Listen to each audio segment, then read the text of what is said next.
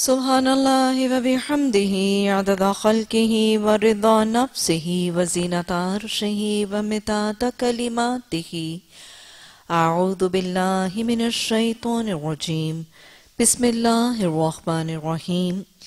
رب اشرح لي صدري ويسر لي أمري واحلل عقدة من لساني يفقه قولي واجعل لي وزيرا من أهلي. اللهم ألهمنا رشدا وعزنا من شرور أنفسنا اللهم أرنا الحق حقا وارزقنا اتباعا اللهم أرنا الباطل باطلا وارزقنا اجتنابا آمین، ثم آمین. تفسیر سورہ المجادلہ. مدنی صورت ہے تین رکوات بائیس آیات اور ففٹی ایٹھ نمبر پر آنے والی یہ صورت۔ اس کا نام، دو نام بنیادی طور پر آپ مختلف تفاصیر میں دیکھیں گے۔ المجادلہ، دال کے اوپر زبر، اور المجادلہ، دال کے اوپر زیر کے حوالے سے۔ اور یہ نام اس حوالے سے ہے کہ بالکل پہلی ہی آیت میں اگر ہم دیکھیں، قد سمع اللہ قول اللتی تجادل کا فی زوجہا تو گویا ایک مجادلہ یا مجادلہ کا ذکر اور تذکرہ تو اس حوالے سے اس صورت کا نام۔ مجادلہ اگر پڑھا جائے تو اس کا مطلب ہوگا بحث و تقرار اور مجادلہ اگر پڑھا جائے تو اس کا مطلب ہوگا بحث اور تکرار کرنے والی عورت۔ تو لہٰذا یہ دونوں ہی مطلب سورت کے نام اور اس کے حوالے سے ہو سکتے ہیں کہ وہ سورت جس میں ایک مجادلہ کا تذکرہ، ایک بحث و تکرار کا تذکرہ ہے یا ایک بحث و تکرار کرنے والی عورت کا تذکرہ ہے۔ تو مختلف تفاصیر میں کہیں آپ زبر دیکھیں گے اور کہیں آپ زیر دیکھیں گے۔ آگے چلنے سے پہلے مجادلہ کا اصل مطلب سمجھ لیجیے۔ جیم دال لام اردو میں تو جدال لڑائی کو جھگڑے کو کہتے ہیں اور وہ لڑائی جھگڑا جس میں نہ شائستگی بھی ہے، بد اخلاقی بھی ہے۔ عموماً ہم جدال کس کو کہتے ہیں؟ ایسا لڑائی جھگڑا جس میں بدتمیزی بد زبانی گالی گلوچ، بد اخلاقی، گریبان کا پکڑنا، ایک دوسرے کو مار پیٹ کا تذکرہ بھی بسا اوقات جدال کے اندر آ جاتا ہے۔ تو جدال کا تصور اردو زبان میں عرف عام میں ذرا فرق ہے۔ عربی زبان میں جدال ایسے بحث اور مباحثے کو کہتے ہیں جب دو لوگوں کے درمیان ایک رائے میں، ایک سوچ میں فرق ہو اور ایک شخص دوسرے کو قائل کرنے کے لیے مباحثہ کر رہا ہو اور ایسا مباحثہ ہو جس میں ادب ہو، اخلاق کہ دائرے کے اندر رہ کے کوئی لڑائی جھگڑا نہیں ہے، کوئی مار پیٹ لڑائی جھگڑا بد زبانی، بد تمیزی، بد سلوکی، بد کلامی کا طریقہ نہیں ہے۔ لیکن ایک شائستہ سے طریقے سے لوجک اور دلیل کے ذریعے جب مباحثہ کر کے دوسرے کو اپنی بات پر، رائے پر قائل کرنے کا طریقہ اختیار کیا جائے تو ایسا مباحثہ عربی زبان میں بحث اور تکرار جو ہے، اس کو مجادلہ کہا جاتا ہے۔ یہ حوالے سے جاننا ضروری ہے کہ اس صورت میں ایک خاتون نبی صلی اللہ علیہ وسلم کی صحابیہ نے رسول اللہ صلی اللہ علیہ وسلم کے ساتھ یہ مجادلہ کیا اور یا وہ صحابیہ مجادلہ یعنی وہ بحث کرنے والی خاتون تھی، تو اس میں کسی قسم کی نعوذ باللہ کوئی غستاخی کا طریقہ نہیں تھا، ادب اور سلیقے کے اندر رہ کے دلائل کے ذریعے یہ خاتون رسول اللہ صلی اللہ علیہ وسلم کو اپنے مسئلہ، اپنا مسئلہ اور اپنی پرابلم سمجھانے اور اپنی اس چیز پر قائل کرنے اور اپنے مسئلے کا حل تلاش کرنے کی طرف مائل کر رہی ہیں اور یہ مکمل ادب اور اخلاق کے دائرے کے اندر رہ کر معاملہ کیا گیا۔ یہ واقعہ کب پیش آیا؟ یہ پتہ چلتا ہے کہ سورہ احزاب، غزوہ احزاب کے بعد پانچ ہجری میں ہوئی اور غزوہ احزاب میں اللہ سبحانہ، سورہ احزاب میں اللہ سبحانہ تعالیٰ نے واضح طور پر وہ حکم جو بالکل ابتدا میں، وما جَعَلَ ازواجکم اللَّهِ تظاہرون منہن امہاتکم کہ وہ عورتیں، وہ تمہاری بیمیاں جن کے ساتھ تم زہار کر کے ان کو اپنی مائیں کہہ دیتے ہو، اللہ نے تمہاری، ان کو تمہاری مائیں نہیں بنایا۔ تو لہٰذا یہ تذکرہ ایک مختصراً جو ہے وہ سورہ احزاب میں کیا گیا اور پھر اس کے بعد زیادہ وضاحت سے سورہ مجادلہ میں اس کا تذکرہ اور ان احکامات کو واضح کیا گیا اس واقعے کے تذکرے کے حوالے سے۔ تو لہٰذا یہ صورت قصبہ احزاب پانچ ہجری کے بعد نازل ہونے والی صورت ہے۔ اس میں اللہ سبحانہ تعالیٰ نے کچھ معاشرتی احکامات اور کچھ مجلس کے آداب کی طرف نشاندہی کی ہے۔ اور وہی بات میں پھر دہراؤں کہ آپ دیکھیں کہ وہ ماحول ہے اور وہ انوائرمنٹ ہے جب مدینہ کی ایک چھوٹی سی اسلامی ریاست کا قیام ظہور وزیر ہوا ہے اور مسلمانوں کو ہر طرف سے خوف ہے، دھمکیاں ہیں، مالی تنگیاں ہیں، فقر و فاقہ ہے معاشی کرائسسز ہیں، ہر قسم کا بوران ہے اور پھر مور اوور دو جنگیں، بلکہ تین جنگیں، اتنا بھاری مالی نقصان جو ہے بہت میں ہو چکا ہے، لیکن معاشرتی آداب ایتھکس وہ سب کچھ جو ہے ایٹیکیٹس جو ہیں، ان کی تربیت کا طریقہ جاری ہے۔ اور اتنے مشکل حالات میں بھی اور اتنے تکلیف دے اور اتنے کٹھن حالات میں بھی تربیت، اصلاح، تزکیہ کسی سطح پر اس کو چھوڑا نہیں جا رہا۔ اللہ سبحانہ تعالیٰ ہمارے حالات کو ہم پر غالب نہ کرنا، ہمیں اپنے حالات پر غالب رکھنا۔ اور اللہ سبحانہ تعالیٰ ہمیں زندگی کے ہر مرحلے میں غیر اہم سے اہم کی طرف مائل ہونے کی توفیق عطا فرمانا۔ بسم اللہ الرحمن الرحیم۔ قد سمع اللہ قولا لتی تجادلک فی زوجہا وتشتکی الاللہ یقیناً سن لیا، اللہ نے بات کس کی؟ اس خاتون کی وہ جو مجادلہ کر رہی تھی آپ سے، کس چیز کے بارے میں؟ اس کے شوہر کے بارے میں۔ اور وہ ایک شکوہ کر رہی تھی، اپنے مسئلے، اپنے پرابلمز جو ہے وہ بیان کر رہی تھی اللہ کی طرف۔ اللہ نے کیا کیا؟ واللہ یسمعو اور اللہ وہ سن رہا تھا، اس نے سن لیا تھا۔ ان دونوں کا مکالمہ، ان دونوں کا وہ مجادلہ۔ ان اللہ سمیع بصیر اللہ سبحانہ تعالی رحمان نے اپنی دو صفات کا تذکرہ فرمایا سمیع بصیر کہ میں سننے والا بھی ہوں اور میں دیکھنے والا بھی ہوں۔ ہمیشہ آپ دیکھیں کہ اللہ سبحانہ تعالیٰ کی جس پہ صفت کا تذکرہ آتا ہے، وہ آیت کی مناسبت سے ہے۔ کیونکہ اللہ اپنا تعارف فرما رہے کہ یہ مدینہ کی بستی میں نبی صلی اللہ علیہ وسلم اور صحابیہ کا جو مکالمہ ہو رہا تھا اور اس میں جو مجادلہ جاری تھا، اس کو میں نے سنا بھی تھا اور اس کو میں نے دیکھا بھی تھا۔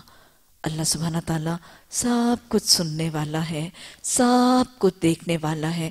اللہ سبحانہ تعالیٰ ہمیں اپنے گھروں کے اندر کے معاملات میں بھی تربیت اور تزکیہ کر کے اللہ کو وہ دکھانے اور اللہ کو وہ سنانے والا گھرانہ بنا دے جس سے وہ راضی ہو جائے۔ یہ معاملہ کیا ہے جس کا تذکرہ کیا جا رہا ہے؟ اصل میں اس کے پیچھے واقعہ نبی صلی اللہ علیہ وسلم کی ایک صحابیہ حضرت خولہ بنت سالبہ کا واقعہ جو ہے وہ مذکور ہے۔ حضرت خولہ بنت سالبہ حضرت عبداللہ بن عباس رضی اللہ تعالی عنہ کی روایت سے یہ واقعہ آتا ہے اور حضرت عبداللہ بن عباس فرماتے ہیں کہ یہ اسلام میں زہار کا پہلا واقعہ ہے جو نبی صلی اللہ علیہ وسلم کی حیات طیبہ میں رونما ہوا اور معاملہ آپ تک پہنچایا گیا۔ یہ صحابیہ حضرت خولہ بنت سالبہ ان کے شوہر اوس بن سامت حضرت اوس بن سامت بڑھاپے کا شکار ہو چکے تھے۔ یہ حضرت عبادہ بن سامت کے بھائی تھے۔ اور یہ بڑھاپے کا شکار ہو چکے تھے اور بڑھاپے کی وجہ سے کچھ تھوڑے سے چڑچڑے بھی تھے اور مزاج کے اندر ایک ایسا چڑچڑا پن تھا کہ بات بات پر خفا ہوتے، بات بات پر روٹتے، بات بات پر جھگڑا کرنے لگتے، کچھ بیمار بھی رہتے تھے۔ اب ایسی کیفیت میں اس بڑھاپے اور اس چڑچڑے پن کا شکار ہونے والے یہ صحابی نے غصے کی حالت میں آ کے گھر میں سو اونچی نیچی معاملات ہوتے ہیں۔ تو غصے کی حالت میں آ کے انہوں نے کیا کیا؟ انہوں نے حضرت خولہ بنت سالبہ کو عرب کے زہار کی رسم کے مطابق یہ کہہ دیا کہ آج سے تو میرے لیے ویسے ہی حرام جیسے میری ماں کی پیٹ اور یہ کہنے کے بعد عرب کے دستور کے مطابق تو یہ طریقہ رائج تھا کہ جب ایک شوہر اپنی بیوی سے یہ الفاظ یا یہ کلمہ ادا کر دیتا تو ان کے نزدیک یہ الفاظ طلاق کے برابر اور طلاق کا مترادف سمجھا جاتا تھا اور یہ کہنے کے بعد دونوں زوجین کے درمیان طلاق کا معاملہ رونما ہو جاتا۔ لیکن یہ عرب کا طریقہ تھا۔ حضرت خالہ بنت سالبہ کے بچے بھی تھے، گھر بھی تھا اور ظاہر بچے بھی چھوٹے چھوٹے تھے۔ جب شوہر نے اس چڑچڑے پن اور خفگی کی حالت میں آ کے یہ کلمہ کہہ دیا تو حضرت خولہ بنت سالمہ رسول اللہ صلی اللہ علیہ وسلم کی خدمت میں حاضر ہوئی اور اپنا سارا معاملہ اور اپنی رودات پیش کی۔ حضرت عائشہ رضی اللہ تعالی عنہ اس واقعے کی گواہی بھی دیتی ہیں، کہتی ہیں کہ میں اپنے حجرے میں تھی اور میں سن رہی تھی۔ یعنی میں اپنے حجرے میں سن رہی تھی کہ یہ خاتون رسول اللہ صلی اللہ علیہ وسلم کے پاس حاضر ہوئی ہیں اور وہ ساری داستان اپنے واقعات، اپنے گھر کی یہ معاملہ جو ہے رسول اللہ صلی اللہ علیہ وسلم کو سنا کر یہ کہہ رہی تھی کہ میرے چھوٹے چھوٹے بچے ہیں، میرے لیے اس مسئلے کا کوئی حل تجویز فرمائے۔ یعنی وہ نہیں چاہ رہی تھی کہ طلاق ہو جائے اور گھر ٹوٹ جائے اور بچے جو ہیں وہ باپ سے اور میں اور بچے دونوں جو ہیں وہ چھت سے محروم ہو جائے۔ تو لہٰذا بچوں کی زندگی، بچوں اور زندگی کی تباہی کا واسطہ دے کر یہی رسول اللہ صلی اللہ علیہ وسلم سے درخواست کرنی تھی کہ رخصت کا کوئی پہلو نکالیے۔ تو کچھ روایات میں آتا ہے کہ مختلف روایان کے جو حوالوں سے آتا ہے، کچھ روایات میں آتا ہے کہ آپ صلی اللہ علیہ وسلم نے فرمایا کہ ابھی تک مجھے اس مسئلے میں کوئی حکم نہیں دیا گیا۔ کہ ایک جگہ آتا ہے کہ آپ نے فرمایا کہ ابھی تک مجھے اس مسئلے میں کوئی حکم نہیں دیا گیا۔ اور کچھ روایات میں آتا ہے کہ آپ نے یہ بھی فرمایا کہ میرا خیال ہے کہ تم اس پر حرام ہو گئی۔ اور کچھ میں آتا ہے کہ آپ صلی اللہ علیہ وسلم نے فرمایا کہ تم اس پر حرام ہو گئی۔ بہرحال جو بھی تینوں روایات میں سے جو بھی آپ صلی اللہ علیہ وسلم نے فرمایا، کیونکہ حتمی حکم موجود نہیں تھا، اور وہ خاتون رسول اللہ صلی اللہ علیہ وسلم کو اپنے گھر کے حالات اور اپنے مسائب اور مشکلات کا تذکرہ کر کے یہ سمجھانے اور قائل کرنے کی طرف مائل تھی کہ میرے مسئلے کا کوئی حل تجویز کریں کہ نبی صلی اللہ علیہ وسلم اللہ نے فرمایا، اللہ نے سن لی بات۔ تو اللہ سبحانہ تعالیٰ کے نے وہی کی کیفیت اللہ کے حکم سے ہوئی اور نبی صلی اللہ علیہ وسلم پر زہار کی رسم کی نفی کے لیے یہ آیات نازل کر دی گئیں۔ اور ہمیں روایت سے پتہ چلتا ہے کہ جب یہ آیات نازل کر دی گئی اور زہار سے کی جو پابندی ہے، اسے نکلنے کا طریقہ ان آیات میں بتا دیا گیا، تو پھر اللہ کے رسول صلی اللہ علیہ وسلم نے حضرت خولہ کو بھی اور ان کے شوہر حضرت اوس بن سامت ان کو بلایا اور ان کو کہا کہ اگر آپ زہار کر چکے ہیں تو اسے نکلنے کا طریقہ یہ ہے، کیونکہ قسم کھائی گئی ہے۔ تو پھر آپ صلی اللہ علیہ وسلم نے فرمایا کہ کیا کریں؟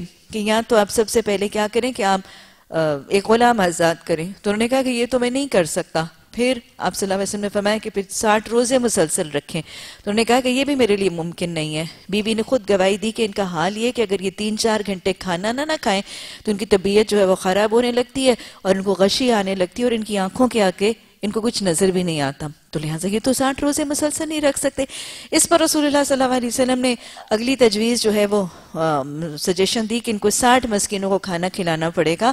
تو انہوں نے عرض کیا کہ یا رسول اللہ صلی اللہ علیہ وسلم، ہمارے پاس تو اتنا کھانا نہیں ہے۔ ہمارے پاس تو اتنی مقدار میں، نہ ہمارے پاس مال ہے، نہ ہمارے پاس اتنی مقدار میں کھانا ہے۔ تو کچھ روایات میں آتا ہے کہ اللہ کے رسول صلی اللہ علیہ وسلم نے ان کو پھر اپنی طرف سے کچھ مال دیا اور حضرت خالہ نے بھی ان کو کچھ مال دیا اور پھر یہ کھانا جو ہے وہ ساٹھ مسکینوں کو کھلایا گیا اور اس طرح وہ اپنا کفارہ ادا کر کے اس معاملے سے، اس پابندی سے وہ آزاد ہوئے۔ لیکن آپ دیکھیں کہ صحابہ کرام اور صحابیات کا درجہ کیا ہے کہ اللہ سبحانہ تعالیٰ فرما رہے قد سمی اللہ اللہ نے سن لی، ایک تو اللہ سمی ہے۔ اللہ مظلوم کی پکار کو سنتا ہے۔ اللہ حق بات کے لیے پکارنے والے کو سنتا ہے اور اللہ سمیع دعا دعا کرنے والے کو بھی سنتا ہے۔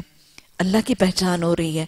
اللہ کے سمیع ہونے کا احساس جو ہے وہ اور تازہ ہو رہا ہے اور اس پر ایمان زیادہ تازہ ہو رہا ہے۔ اور دوسری بات یہ بھی پتا چل رہی ہے کہ صحابہ اکرام کا درجہ کیا ہے۔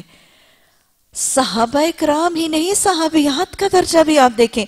کیسے ہیں اللہ کے رسول صلی اللہ علیہ وسلم کے ساتھی کہ ایسے جیسے نبی صلی اللہ علیہ وسلم کے صحابہ اکرام اور صحابیات اور اللہ سبحانہ تعالیٰ کے درمیان ایک ڈائریکٹ کمیونیکیشن اور ایک ڈائریکٹ لنک ہے۔ اللہ کا حکم آتا ہے تو صحابہ اکرام رسپونڈ کرتے ہیں۔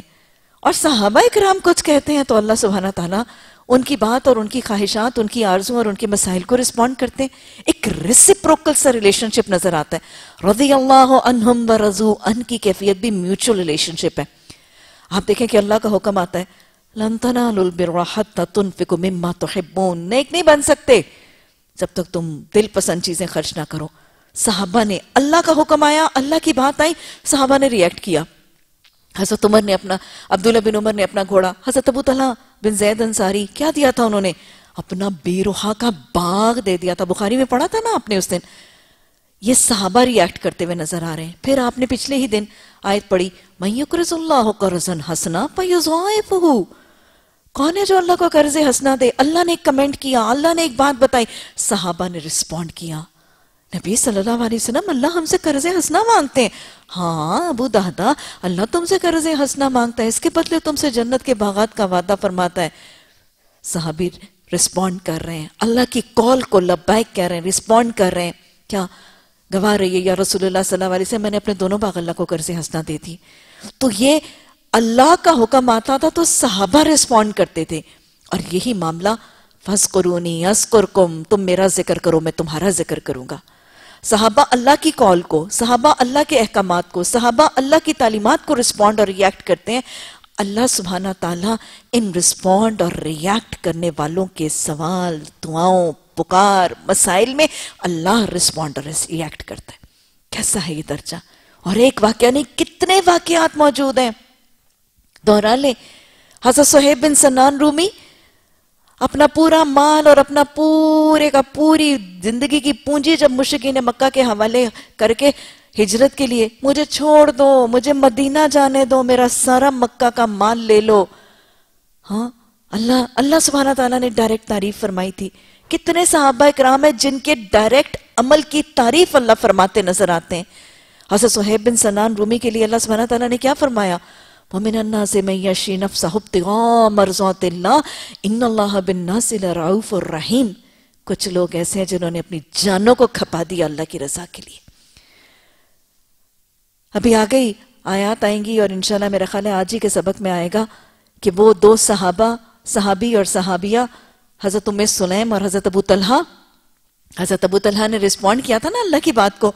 اب اللہ کمنٹ کر رہے ہیں ان کے عمل پر، اللہ تعریف فرما رہے ہیں۔ حضرت ام سلیم، حضرت ابو طلحہ مہمان نوازی کی تھی، دل کی تنگی سے بچ گئے تھے۔ نبی صلی اللہ علیہ وسلم کے مہمان کو اپنا مہمان بنایا تھا۔ اللہ سبحانہ تعالیٰ نے کیا فرمایا تھا؟ یسرون علی انفسہم ولو کان بہم خصاصا یہ یہ دوسرے لوگوں کو اپنی ذات پر ترجیح دیتے ہیں۔ حالانکہ یہ خود بھوک کی حالت میں ہوتے ہیں۔ یہ ہے صحابہ کا درجہ۔ صحابہ عمل کرتے تھے۔ اللہ ان کی تعریف کے لیے قرآن میں آیات نازل فرماتے تھے۔ صحابہ اکرام صحابہ اکرام مشکل میں ہوتے تھے۔ پچھلے دن ہم نے دیکھا تھا، لان کی آیات، لان کی آیات۔ صحابی نے فرمایا تھا، یا رسول اللہ صلی اللہ علیہ وسلم، مجھے یقین ہے، مجھے یقین ہے کہ میں سچا ہوں۔ اللہ میری پیٹ کو بچانے کے لیے احکامات نازل کرے گا۔ اور اللہ سبحانہ تعالیٰ نے لان کی آیات نازل کر دی تھی۔ یہ جب اللہ پر یقین اور توکل سے بات کرتے تھے تو اللہ سبحانہ تعالیٰ ان کے توکل اور یقین کو ٹھیس نہیں پہنچاتا تھا اور اللہ واقعتاً ان کے حق میں آیات نازل کرتے تھے۔ حضرت عبداللہ بن ام مکتوم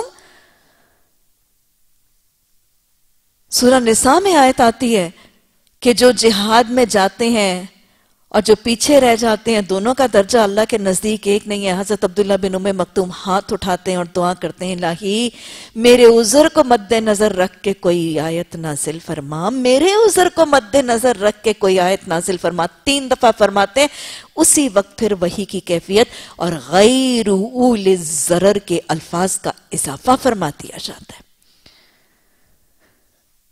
اور یہ وہ صحابی ہیں جن کے حق میں ایک دفعہ نہیں، دو دفعہ آیات نازل ہوئی حضرت عبداللہ بن ام مکتوم، ادھر خواہش اور ادھر دعا کے بعد وہی کا زمیمہ نازل ہو گیا تھا۔ اللہ نے اپنی وہی میں زمیمے کے شکل میں الفاظ شامل کر دیے تھے۔ اور ادھر عبداللہ بن ام مکتوم کا دل دکھ گیا تھا تو اللہ نے آیات نازل کر دی تھی۔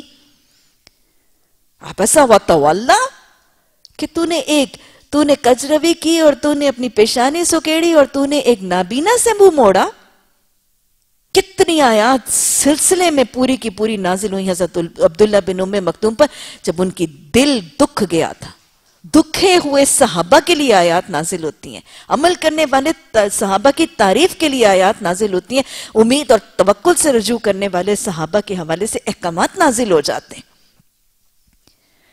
آپ دیکھیں کتنے صحابہ اکرام آپ دیکھیں اس کے بعد اگر آپ دیکھیں تو نبی صلی اللہ علیہ وسلم کے وہ صحابی حضرت عمر آپ کے ساتھی کہ کچھ موقعوں پر ان کی رائے اللہ کی رائے کے موافق ہو جاتی ہے۔ کچھ موقعوں پر ان کی رائے اللہ کی رائے کے موافق ہو جاتی ہے۔ حضرت عمر نے تو تین مقامات بتائے لیکن ہمیں قرآن کی تفسیر کے مطالعے سے زیادہ مقامات دیکھیں حضرت عمر رضی اللہ تعالیٰ عنہ فرماتے ہیں کہ تین موقع ایسے آئے قرآن کے نزول میں کہ میری رائے اللہ کی رائے کے موافق ہو گئی۔ کون سی؟ یا رسول اللہ صلی اللہ علیہ وسلم، کیا ہی خوب ہو اگر ہم مقام ابراہیم پر کچھ نوافل ادا کر لیا کریں۔ وَاتَّخِذُوا مَقَامِ إِبْرَاهِيمَ مُسَلَّى اللہ کی رائے حضرت عمر رضی اللہ تعالیٰ عنہ کی رائے کے موافق ہو گئی۔ سودا ہم نے آپ کو رات کو جاتے ہوئے دیکھ لیا۔ نبی صلی اللہ علیہ وسلم، کیا ہی خوب ہو اگر آپ اپنی عورتوں کو، آپ اپنے گھر کی ازواج متحرات کو جلباب اور پردے کا حکم دیں۔ کیا حکم آیا؟ وَصَلُهُنَّ مِن وَرَائِ حِجَاب يُدْنِيرَ عَلَيْهِنَّ مِن جِلَابِ بِهِنَّ شراب کے دو احکامات آ چکے ہیں۔ حضرت عمر رضی اللہ تعالیٰ عنہ معاشرے میں ابھی بھی شراب کو جاری دیکھ کر دعا فرماتے ہیں۔ الہی الہی، شراب کے لیے کوئی شافی بیان نازل فرما۔ الہی، شراب کے لیے شافی بیان نازل فرما۔ تین دفعہ دعا کرتے ہیں۔ اللہ سبحانہ تعالیٰ سورہ معدہ میں شراب کے لیے حتمی حکم نازل فرماتے ہیں اور حضرت عمر فرماتے ہیں، انتہائی تنا ہم باز آ گئے۔ اللہ اور اس سے زائد موقعوں پر حضرت عمر رضی اللہ تعالیٰ عنہ، حضرت محمد صلی اللہ علیہ وسلم کو قیدیوں کے بارے میں مشورہ دیتے ہیں، اللہ سبحانہ تعالیٰ حضرت عمر کی رائے کی تصدیق فرماتے ہیں۔ اور پھر نبی صلی اللہ علیہ وسلم کی صدیقہ، حضرت عائشہ صدیقہ رضی اللہ تعالیٰ عنہ، ان کی عزت پر حملہ ہوتا ہے۔ تو اللہ سبحانہ تعالیٰ ان کے لیے برات کی آیات نازل فرما دیتا ہے۔ اللہ سبحانہ تعالیٰ حضرت عائشہ کی عزت پر حملہ کرنے والوں کے اس اس معاملے کے بعد حد قذف کا حکم جاری کر دیتا ہے۔ یہ ہے صحابہ اکرام کی شان۔ یہ ہے صحابہ اکرام، صحابیات۔ اللہ سبحانہ تعالیٰ ان سے راضی ہو۔ اور اللہ سبحانہ تعالیٰ ہمیں ان کے زندگی کے حالات کو پڑھنے اور معاشرے میں سکھانے کی توفیق عطا فرمائے۔ یہ ہے وہ نمتا علیہم ان کے راستے پر چلنے کی دعائیں تو مانگتے ہیں، لیکن صرف دعائیں مانگنا ضروری نہیں ہے۔ دعاؤں کے ساتھ ان کے زندگی کے حالات، ان کے صبح و شام، ان کا نشست برخاست، ان کے لباس، ان کی عبادات، ان کی شادی، بیاہ، خوشی و غموں کے طریقے سیکھ کر لوگوں کو سکھانے ضروری ہیں۔ اگر اگر سرات مستقیم پر استقامت چاہتے ہیں۔ ان پر فخر کرنا، ان کے حالات کو سیکھنا، ان کے قصوں اور تذکروں کو عام کرنا۔ میں کہتی ہوں، آج پھر دہراؤں گی۔ وہ جو بچوں کو قصے کہانیاں سناتے ہیں نا، وہ پرستان کی قصے کہانیاں، یا وہ بیڈ ٹائم سٹوریز یا وہ سنڈریلاز یا وہ سنو وائٹس یا ہینزل اینڈ گریٹل یا وہ ریڈ رائڈنگ ہوڈ یہ قصے چھوڑ دیجیے۔ یہ ہیں قصے۔ یہ ہے وہ قصے جو سنائے جانے، پڑھے جانے، سیکھے جانے کے لائق ہیں۔ وہ کیا گردوں تھا جس کا تو ہے؟ ایک ٹوٹا ہوا تارا۔ یہ یہ وہ قوم ہے جس نے جس نے ہمیں پالا ہے۔ ان کو سیکھنا، ان کو سکھانا، ان پر فخر کرنا میرے اور آپ کے لیے ضروری۔ یہاں سے اللہ سبحانہ تعالیٰ نے زہار کی وہ جو رسم اس معاشرے میں رائج تھی، جس کا تذکرہ میں نے ابھی کیا کہ ایک شوہر اپنی بیوی کو وہ حرام ہونے کے الفاظ جب کہہ دیتا تھا تو وہ آٹومیٹکلی ازیوم کرتے تھے کہ طلاق خود سے خود ہو گئی۔ اللہ سبحانہ تعالیٰ نے اس واقعے کے بعد زہار کی رسم کے لیے احکامات بھی کیے اور اس زہار کی رسم سے نکلنے کا طریقہ بھی بتایا۔ اللہ سبحانہ تعالیٰ فرماتے ہیں، تم میں سے جو لوگ اپنی بیویوں سے زہار کرتے ہیں، ان کی بیویاں ان کی مائن نہیں ہیں۔ یعنی تمہارے کہہ دینے سے وہ بیویاں تمہاری مائیں نہیں بن جاتی، ان کی مائیں تو وہی ہیں جنہوں نے ان کو جنا یہ لوگ ایک سخت ناپسندیدہ اور جھوٹی بات کہتے ہیں اور در حقیقت یہ ہے کہ اللہ بڑا معاف کرنے والا اور درگزر کرنے والا ہے۔ جو لوگ اپنی بیویوں سے زہار کریں، پھر اپنی اسی بات سے رجوع کریں جو انہوں نے کہی ہے، تو قبل اس کے کہ وہ دونوں ایک دوسرے کو ہاتھ لگائیں، ایک غلام آزاد کرنا ہوگا۔ یعنی یہ کرنے کا پہلا کام ہے۔ اگر یہ نہ کر سکیں، تو پھر اس سے تم کو نصیحت کی جاتی ہو جو کچھ تم کرتے ہو، اللہ اس سے باخبر ہے۔ جو وہ شخص نہ کر سکے جو شخص غلام نہ پائے، وہ دو مہینے پہ در پہ کے روزے رکھے گا، قبل اس کے کہ دونوں ایک دوسرے کو ہاتھ لگائیں اور جو اس پر بھی قادر نہ ہو، وہ ساٹھ مسکینوں کو کھانا کھلائے گا۔ یہ حکم اس لیے دیا جا رہا ہے کہ تم اللہ اور اللہ کے رسول صلی اللہ علیہ وسلم پر ایمان لاؤ۔ یہ اللہ کی مقرر کی بھی حدیں ہیں اور کافروں کے لیے دردناک سزا ہے۔ گویا اللہ سبحانہ تعالیٰ نے اب یہاں پر زہار کے حوالے سے احکامات جو ہیں وہ واضح کر دیے۔ نبی صلی اللہ علیہ وسلم کی حیات طیبہ میں ابھی آپ نے دیکھا کہ حضرت عبداللہ بن عباس رضی اللہ تعالیٰ عنہ کے بیان سے یہ زہار کے حوالے سے وہ پہلا پہلا واقعہ تھا، جس کے بعد زہار کے احکامات وضع ہوئے قرآن کے حوالے سے۔ اس کے بعد ایک اور واقعہ، حضرت سلمہ بن سخر بیازی حضرت سلمہ بن سخر بیازی ان کا واقعہ آتا ہے کہ یہ کچھ اعتدال پر نہیں تھے اور اپنی اپنی جسمانی خواہشات پر کچھ غلبہ نہیں رکھتے بہت زیادہ ان پر غلبہ تھا اور ان پر قابو نہ رکھنے کی فکر کی بنیاد پر انہوں نے رمضان کے مہینے کے آغاز میں اپنی بیوی کے ساتھ زہار کا طریقہ اختیار کیا۔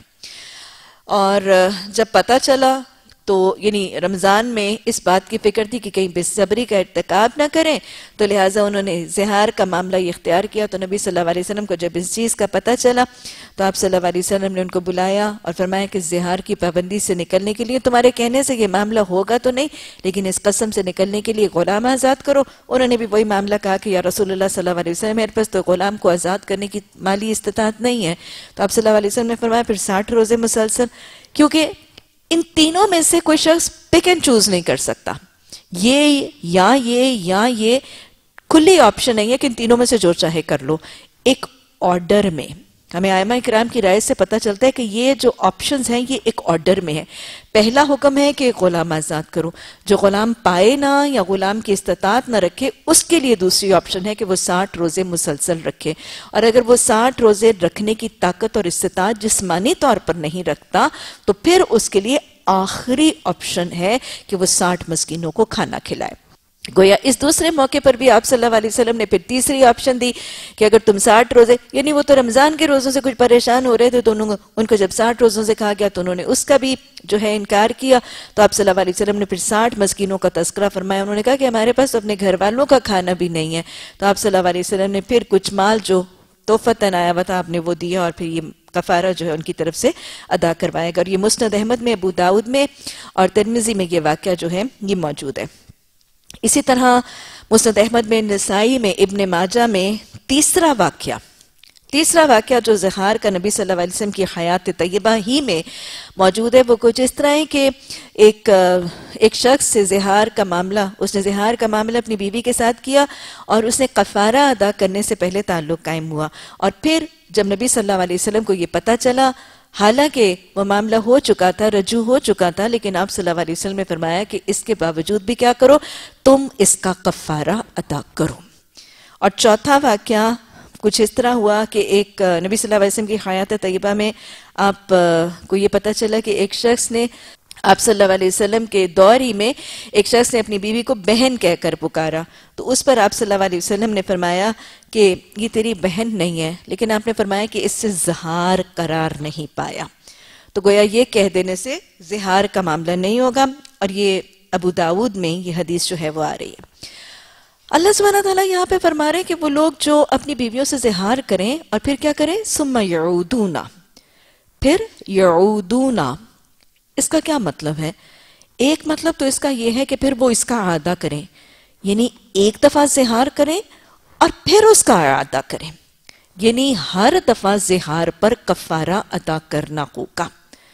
دوسرا مطلب یعودونا کہ وہ اس کے عدی بن جائیں اور وہ بار بار کرتے رہیں، تو پھر بھی ان کو ہر دفعہ کفارہ ادا کرنا ہوگا۔ اور تیسرا مطلب سما یعودونا کا مطلب کیا ہے؟ کہ وہ اپنی بیوی سے زہار کرنے کے بعد پلٹ آنا چاہتے ہوں اور پھر اس کی طرف رجوع کرنا چاہتے ہوں اور پھر اس کے تعلقات کا اعادہ کرنا چاہتے ہوں تو اپنے تعلقات کے اعادے سے پہلے اس کو کیا کرنا ہے؟ ان کو کفارہ ادا کرنا ہے۔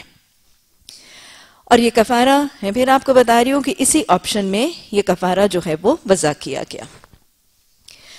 گویا یہاں سے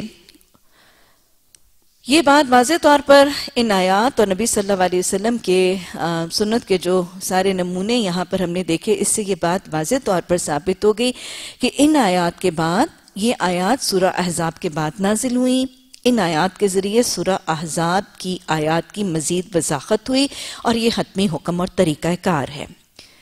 دوسری بات یہ پتا چل رہی ہے کہ اللہ سبحانہ تعالیٰ نے عربوں کے قوم کے اندر وہ جو جاہلیت کا زہار کا طریقہ تھا، اس کو منسوخ کر دیا۔ یعنی زہار کے ذریعے طلاق کا نہ ہونا اور طلاق کا ثابت نہ ہونا یہ ثابت کر دیا گیا اور ان کی رسم کو منسوخ کر دیا گیا۔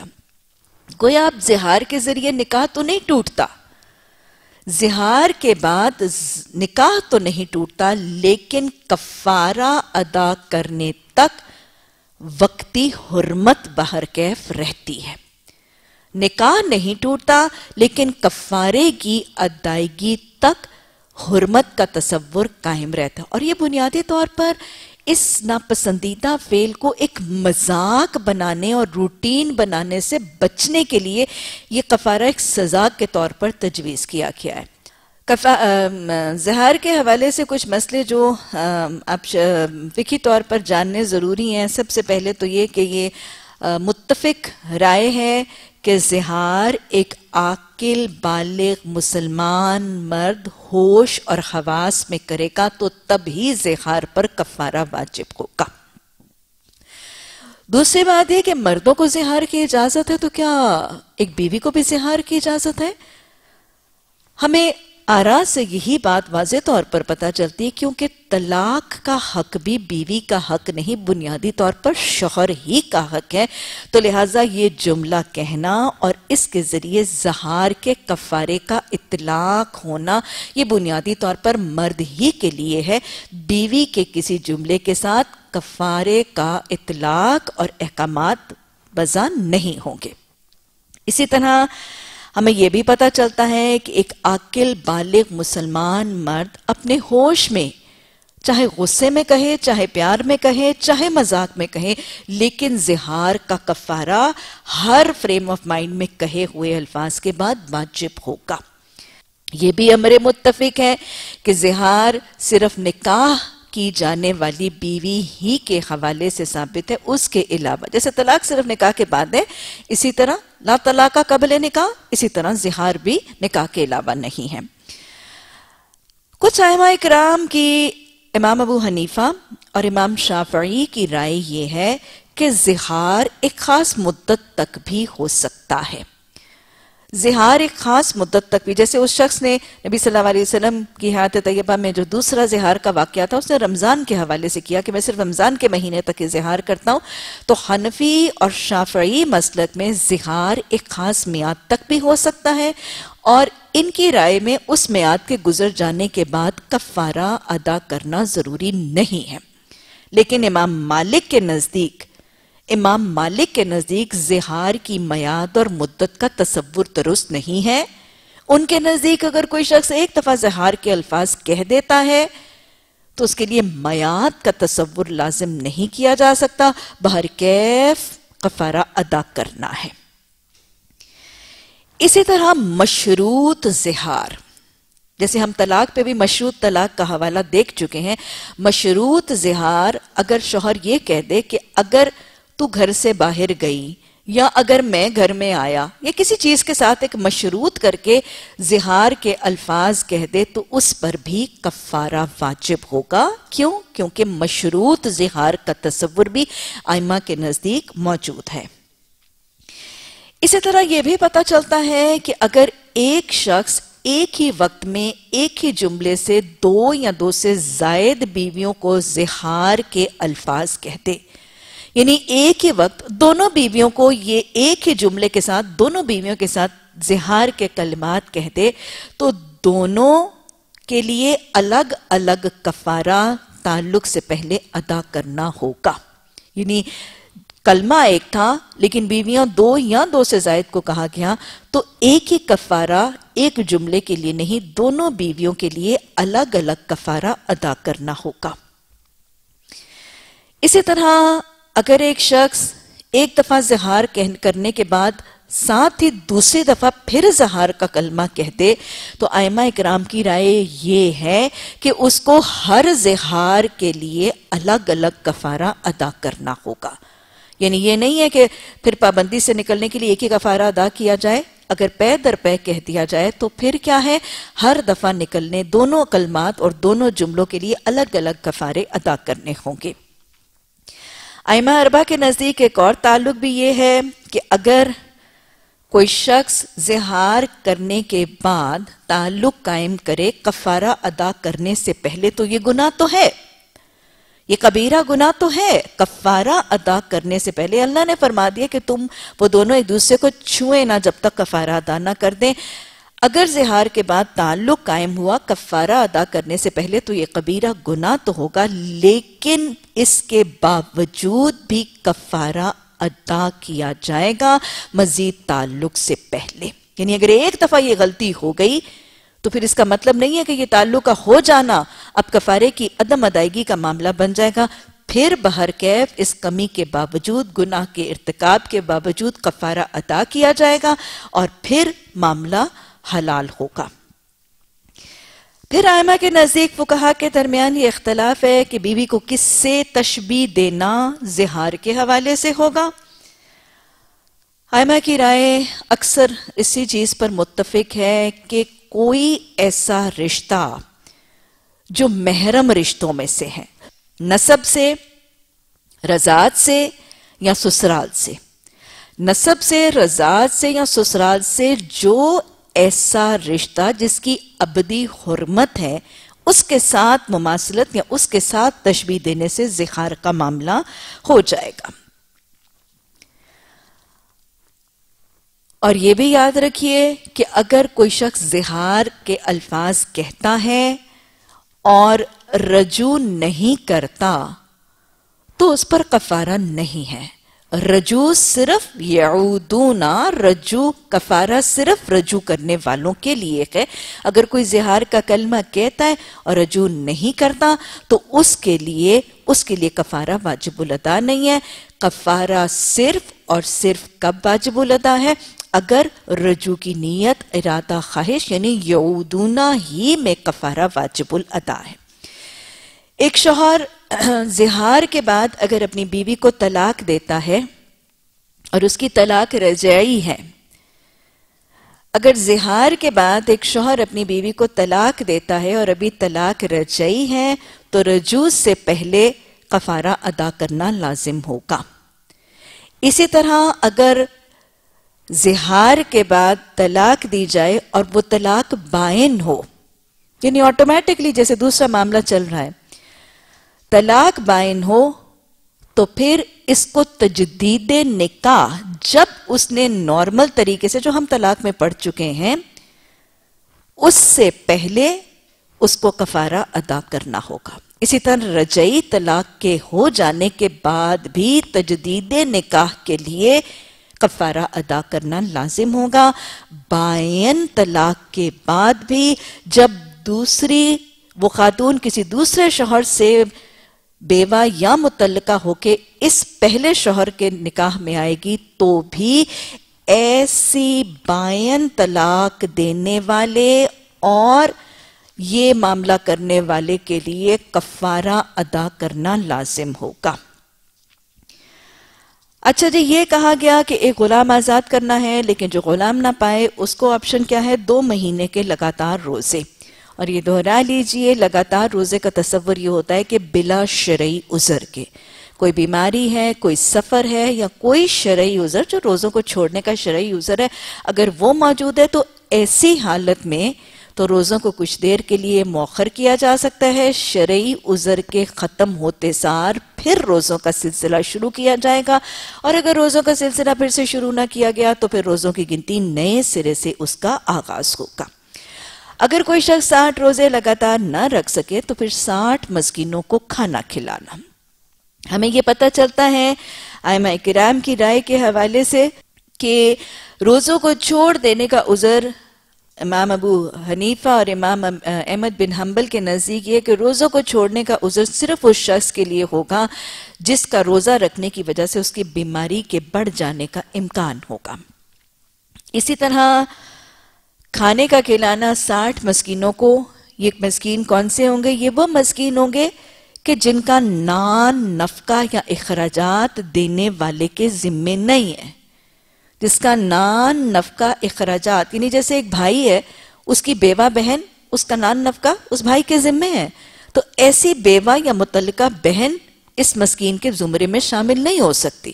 اور نہ ہی اس کے بچے اس کے زمرے میں شامل ہو سکتے ہیں۔ تو لہٰذا یہ ساٹھ مسکینوں میں سے وہ مسکین کون سا ہوگا کہ کفارہ دینے والے کے لیے، کفارہ دینے والے پر اس کا نان نفقہ واجب نہیں ہوگا۔ یہ بھی ثابت ہے کہ جس کو کھانا دینا ہے، اس کو پیٹ بھر کے دو وقت کا کھانا دیا جائے گا۔ اکٹھا ساٹھ مسکینوں کو ایک وقت یکمشت دیا جا سکتا ہے یا الگ الگ متفرق شکل میں ساٹھ کی گنتی ساٹھ دنوں میں یا اس کے علاوہ پوری کی جا سکتی ہے۔ بہرحال یہ زہار کے احکامات ہیں جس نے عرب کے رسومات کی نفی کر کے اور طلاق کا معاملہ جو ہے اس کو تو ختم کر دیا، اس کو تو خارج کر دیا گیا، لیکن بہر کیف کوئی نہ کوئی سزا اس لیے جاری رکھی گئی کفارے کی شکل میں تاکہ کیا ہو؟ تاکہ اس چیز کی ناپسندیدگی اور اس کے معروف ہو جانے سے روکنے کا طریقہ اختیار ہو سکے۔ اللہ سبحانہ تعالیٰ نے فرمایا، یہ حکم اس لیے دیا جا رہا ہے کہ تم اللہ اور اللہ کے رسول صلی اللہ علیہ وسلم پر ایمان لاؤ۔ یہ اللہ کی مقرر کی ہوئی حدیں ہیں اور کافروں کے لیے دردناک سزا ہے۔ گویا، یہ اللہ کی حد ہے اور ان حدود اور ان احکامات یعنی زہار کے احکامات کی نفی اور خلاف ورزی پھر کیا ہوگی؟ کبیرہ گناہ ہوگی۔ جو لوگ اللہ اور اللہ کے رسول صلی اللہ علیہ وسلم کی مخالفت کرتے ہیں۔ اللہ کے دین، اللہ کے احکامات، قرآن کی اشاعت، نفاذ، تبلیغ اور یا نبی صلی اللہ علیہ وسلم کی سنت، حدیث اور تعلیمات کی مخالفت کرنے والوں کا انجام کیا ہے۔ اسی طرح وہ ذلیل و خار کر دیے جائیں گے۔ دنیا میں انجام، دنیا میں ذلیل و خار کیے جائیں گے۔ جیسے پہلے لوگ ذلیل و خار کیے جا چکے ہیں، ہم نے صاف صاف آیات نازل کر دی ہیں اور کافروں کے لیے ذلت کا عذاب ہے۔ گویا دو سزائیں دنیا میں ذلت اور خاری اور آخرت میں ذلت کا عذاب۔ کن لوگوں کے لیے؟ جو اللہ اور اللہ کے رسول صلی اللہ علیہ وسلم کی مخالفت کرتے ہیں۔ اس دن یہ ذلت کا عذاب ہونا ہے جب اللہ ان سب کو پھر سے زندہ کر کے اٹھائے گا اور انہیں بتا دے گا کہ وہ کیا کیا کچھ کر کے آئے۔ وہ بھول گئے ہیں، مگر اللہ نے ان کا سب کیا دھرا محفوظ کر رکھا ہے اور اللہ ایک ایک چیز پر گواہ ہے۔ کیا تم کو خبر نہیں ہے کہ زمین اور آسمان کی ہر چیز کا اللہ کو علم ہے؟ کبھی ایسا نہیں ہوتا کہ تین آدمیوں کے درمیان کوئی سرگوشی ہو اور ان کے درمیان چوتھا اللہ نہ ہو۔ پانچ آدمیوں کے درمیان سرگوشی ہو اور ان کے درمیان چھٹا اللہ نہ ہو۔ خفیہ باتیں کرنے والے خواہش سے کم ہوں یا سے زیادہ؟ جہاں کہیں بھی ہوں گے، اللہ ان کے ساتھ ہوتا ہے۔ اور پھر قیامت کے روز وہ ان کو بتا دے گا کہ انہوں نے کیا کیا کچھ کیا۔ اللہ ہر چیز کا علم رکھتا ہے۔ کیا تم نے دیکھا نہیں؟ ان لوگوں کو جنہیں سرگوشی کرنے سے منع کیا گیا تھا، پھر بھی وہ وہی حرکت کیے جاتے ہیں جس سے انہیں منع کیا گیا؟ یہ لوگ چھپ چھپ کر آپس میں گناہ اور زیادتی اور رسول اللہ صلی اللہ علیہ وسلم کی نفر منی کی باتیں کرتے ہیں۔ گویا اب یہاں سے دوسرے رکوع میں محفل کے آداب ایتھکس اور ایٹیکیٹ سکھائے جا رہے ہیں۔ کون سے آداب؟ سرگوشی سے بچنے کا طریقہ بتایا جا رہا ہے۔ یاد رکھیے گا کہ یہ حکم جو ہے، یہ قرآن میں ایک جگہ نہیں، قرآن میں تین جگہ آیا ہے۔ سرگوشی کا نپوسی کرنا یا کسی کے کان میں آہستہ آہستہ ایسے بات کرنا کہ باقی حاضرین محفل یا باقی سامعین کو پتہ نہ چلے، یہ اس کے احکامات قرآن میں تین جگہ آئے اس سے پہلے ہم سورہ نساء میں بھی یہ احکامات پڑھ چکے ہیں اور اب پھر یہاں پہ دہرائے جا رہے ہیں۔ آگے چلنے سے پہلے سب سے پہلی بات کیا واضح ہوتی ہے کہ اللہ سبحانہ تعالیٰ نے قرآن میں اور حدیث میں احکامات کتنی باریکی سے دی ہیں۔ کتنی چھوٹی چھوٹی چیزیں، کتنی مائنیوٹس ڈیٹیلز یہی تو ہے، الیوم الیوم اکملت لکم دینکم و اتممتو اکملتو اور اتممتو یہی ہے کہ اللہ نے کوالٹی میں کوانٹٹی میں پرسیشن پرفیکشن مائنیوٹس ڈیٹیلز اور زندگی کے ہر ہی شعبے کی باریکی سے احکامات دی ہیں۔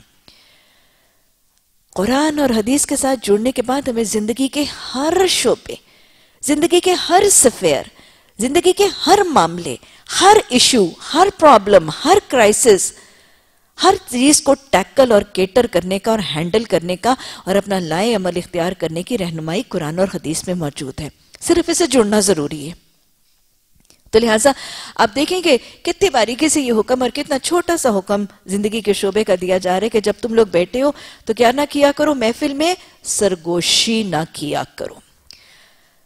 آگے چلنے سے پہلے یہ دیکھیں کہ اللہ سبحانہ تعالیٰ نے اللہ سبحانہ تعالیٰ نے سرگوشی سے منع کیوں کیا ہے؟ پہلے تو رہے سرگوشی کسے کہتے؟ سرگوشی کہتے ہیں ایک دوسرے کے کان میں بات کرنا۔ یعنی محفل میں چار، پانچ، آٹھ، دس لوگ موجود ہیں اور دو افراد یا تین افراد آہستہ آہستہ ہلکی سی آواز میں خسر پسر کر کے ایسے بات کریں کہ صرف جن کو وہ سنانا چاہتے ہیں وہی سنیں اور باقی محفل کے لوگ جو ہیں وہ اس کو نہ سن سکیں۔ یہی ہے نا سرگوشی کرنا۔ سرگوشی سے منع کیوں کیا جا جا کے آپ کو بات اللہ فرمائیں گے پھر۔ اس کی سب سے بڑی کباہت اور اس کا سب سے بڑا امکان سرگوشی کے بعد کس چیز کا امکان ہے؟ کہ افراد کے درمیان بدگمانی ہوگی مس انڈرسٹینڈنگ ہوگی۔ آپس میں دلوں کے اندر دراڑیں آ جائیں گی، محبتوں کے تعلقات خراب ہو جائیں گے۔ کیسے؟ آپ دیکھیں کہ ایک محفل میں دو لوگ آپس میں کانوں میں بات کرنے لگیں تو جو تیسرا بیٹھا ہوتا ہے، سب سے پہلے تو اس کو کس چیز کا احساس ہوتا ہے؟ میں آڈ مین آؤٹ ہوں، مجھے چھوڑ دیا گیا۔ ہے کوئی قصہ، کوئی بات، کوئی تذکرہ، کوئی ڈسکشن کوئی پلان ہو رہی ہے اور مجھے اس میں شامل نہیں کیا جا رہا۔ کس چیز کا احساس؟ عدم عدم اہمیت کی لیک آف امپورٹنس مجھے توجہ نہیں دی گئی، مجھے اہمیت نہیں دی گئی، مجھ سے مشورہ نہیں لیا گیا۔ لیک آف امپورٹنس کا احساس ہوتا ہے۔ پھر اس کے بعد یہ بھی احساس ہوتا ہے کہ یہ دو یا یہ تین لوگ جو آپس میں بات کر رہے ہیں، یہ شاید آپس میں زیادہ قریب ہیں۔ ان کی آپس میں بانڈ ان کا آپس میں لنک اور تعلق زیادہ مضبوط ہے میرے مقابلے میں۔ تو لہٰذا اپنے کم محبوب ہونے کا احساس، اپنی دوری کا احساس، تعلقات میں بگاڑ کی فکر اور اور پھر کیا ہے؟ جب دو لوگ آپس میں یا تین لوگ آپس میں بات کرتے ہیں اور باقی کے نہیں سنتے، تو پھر ایک اور بدگمانی کیا آتی ہے؟ ظاہر ہے، آپس میں بات کر رہے ہیں، صرف میں آڈ مین آؤٹ نہیں ہوں، صرف یہ قریب نہیں ہے صرف میں کم محبوب نہیں ہوں، یقیناً شیطان پھر وہ جو ہمارے جسم میں، ہمارے خون کی طرح گردش کر رہے ہیں شیطان پھر دل میں فتنہ ڈالتا ہے۔ یہ ضرور تمہارے بارے میں ہی بات کر رہے ہیں۔ یہ ضرور تمہارے بارے میں ہی بات کر رہے ہیں۔ اگر کوئی جنرل بات کر رہے ہوتے تو ابھی اچھا بلا اونچی ڈسکشن ہو رہی تھی۔ یہ آہستہ کیا کر رہے ہیں؟ تم سے چھپا کے کیا کر رہے ہیں؟ ضرور جو تم سے چھپا رہے ہیں، تمہاری کوئی بات ہے، تمہارا کوئی مغداق ہے، تمہارے خلاف کوئی ڈسکشن کوئی پلاننگ ہو رہی ہے۔ اب اس سارے سنیریو میں نیٹ ریزلٹ اور آؤٹ پٹ کیا ہوگا؟ مسلمانوں کے تعلقات میں بگاڑ آ جائے گا۔ محبتوں میں دراڑ پڑ جائے گی۔ اور اسلام کون سا دین ہے؟ اسلام خیر خواہی کا دین ہے، آپس کی محبت کا دین ہے، بھائی چارے اور اخوت کا دین ہے۔ اسلام کی تو عبادات آپس کا بھائی چارہ اور اخوت سکھاتی ہیں۔ نماز، جماعت، روزہ حج، یہ سب کیا سکھا رہی ہیں؟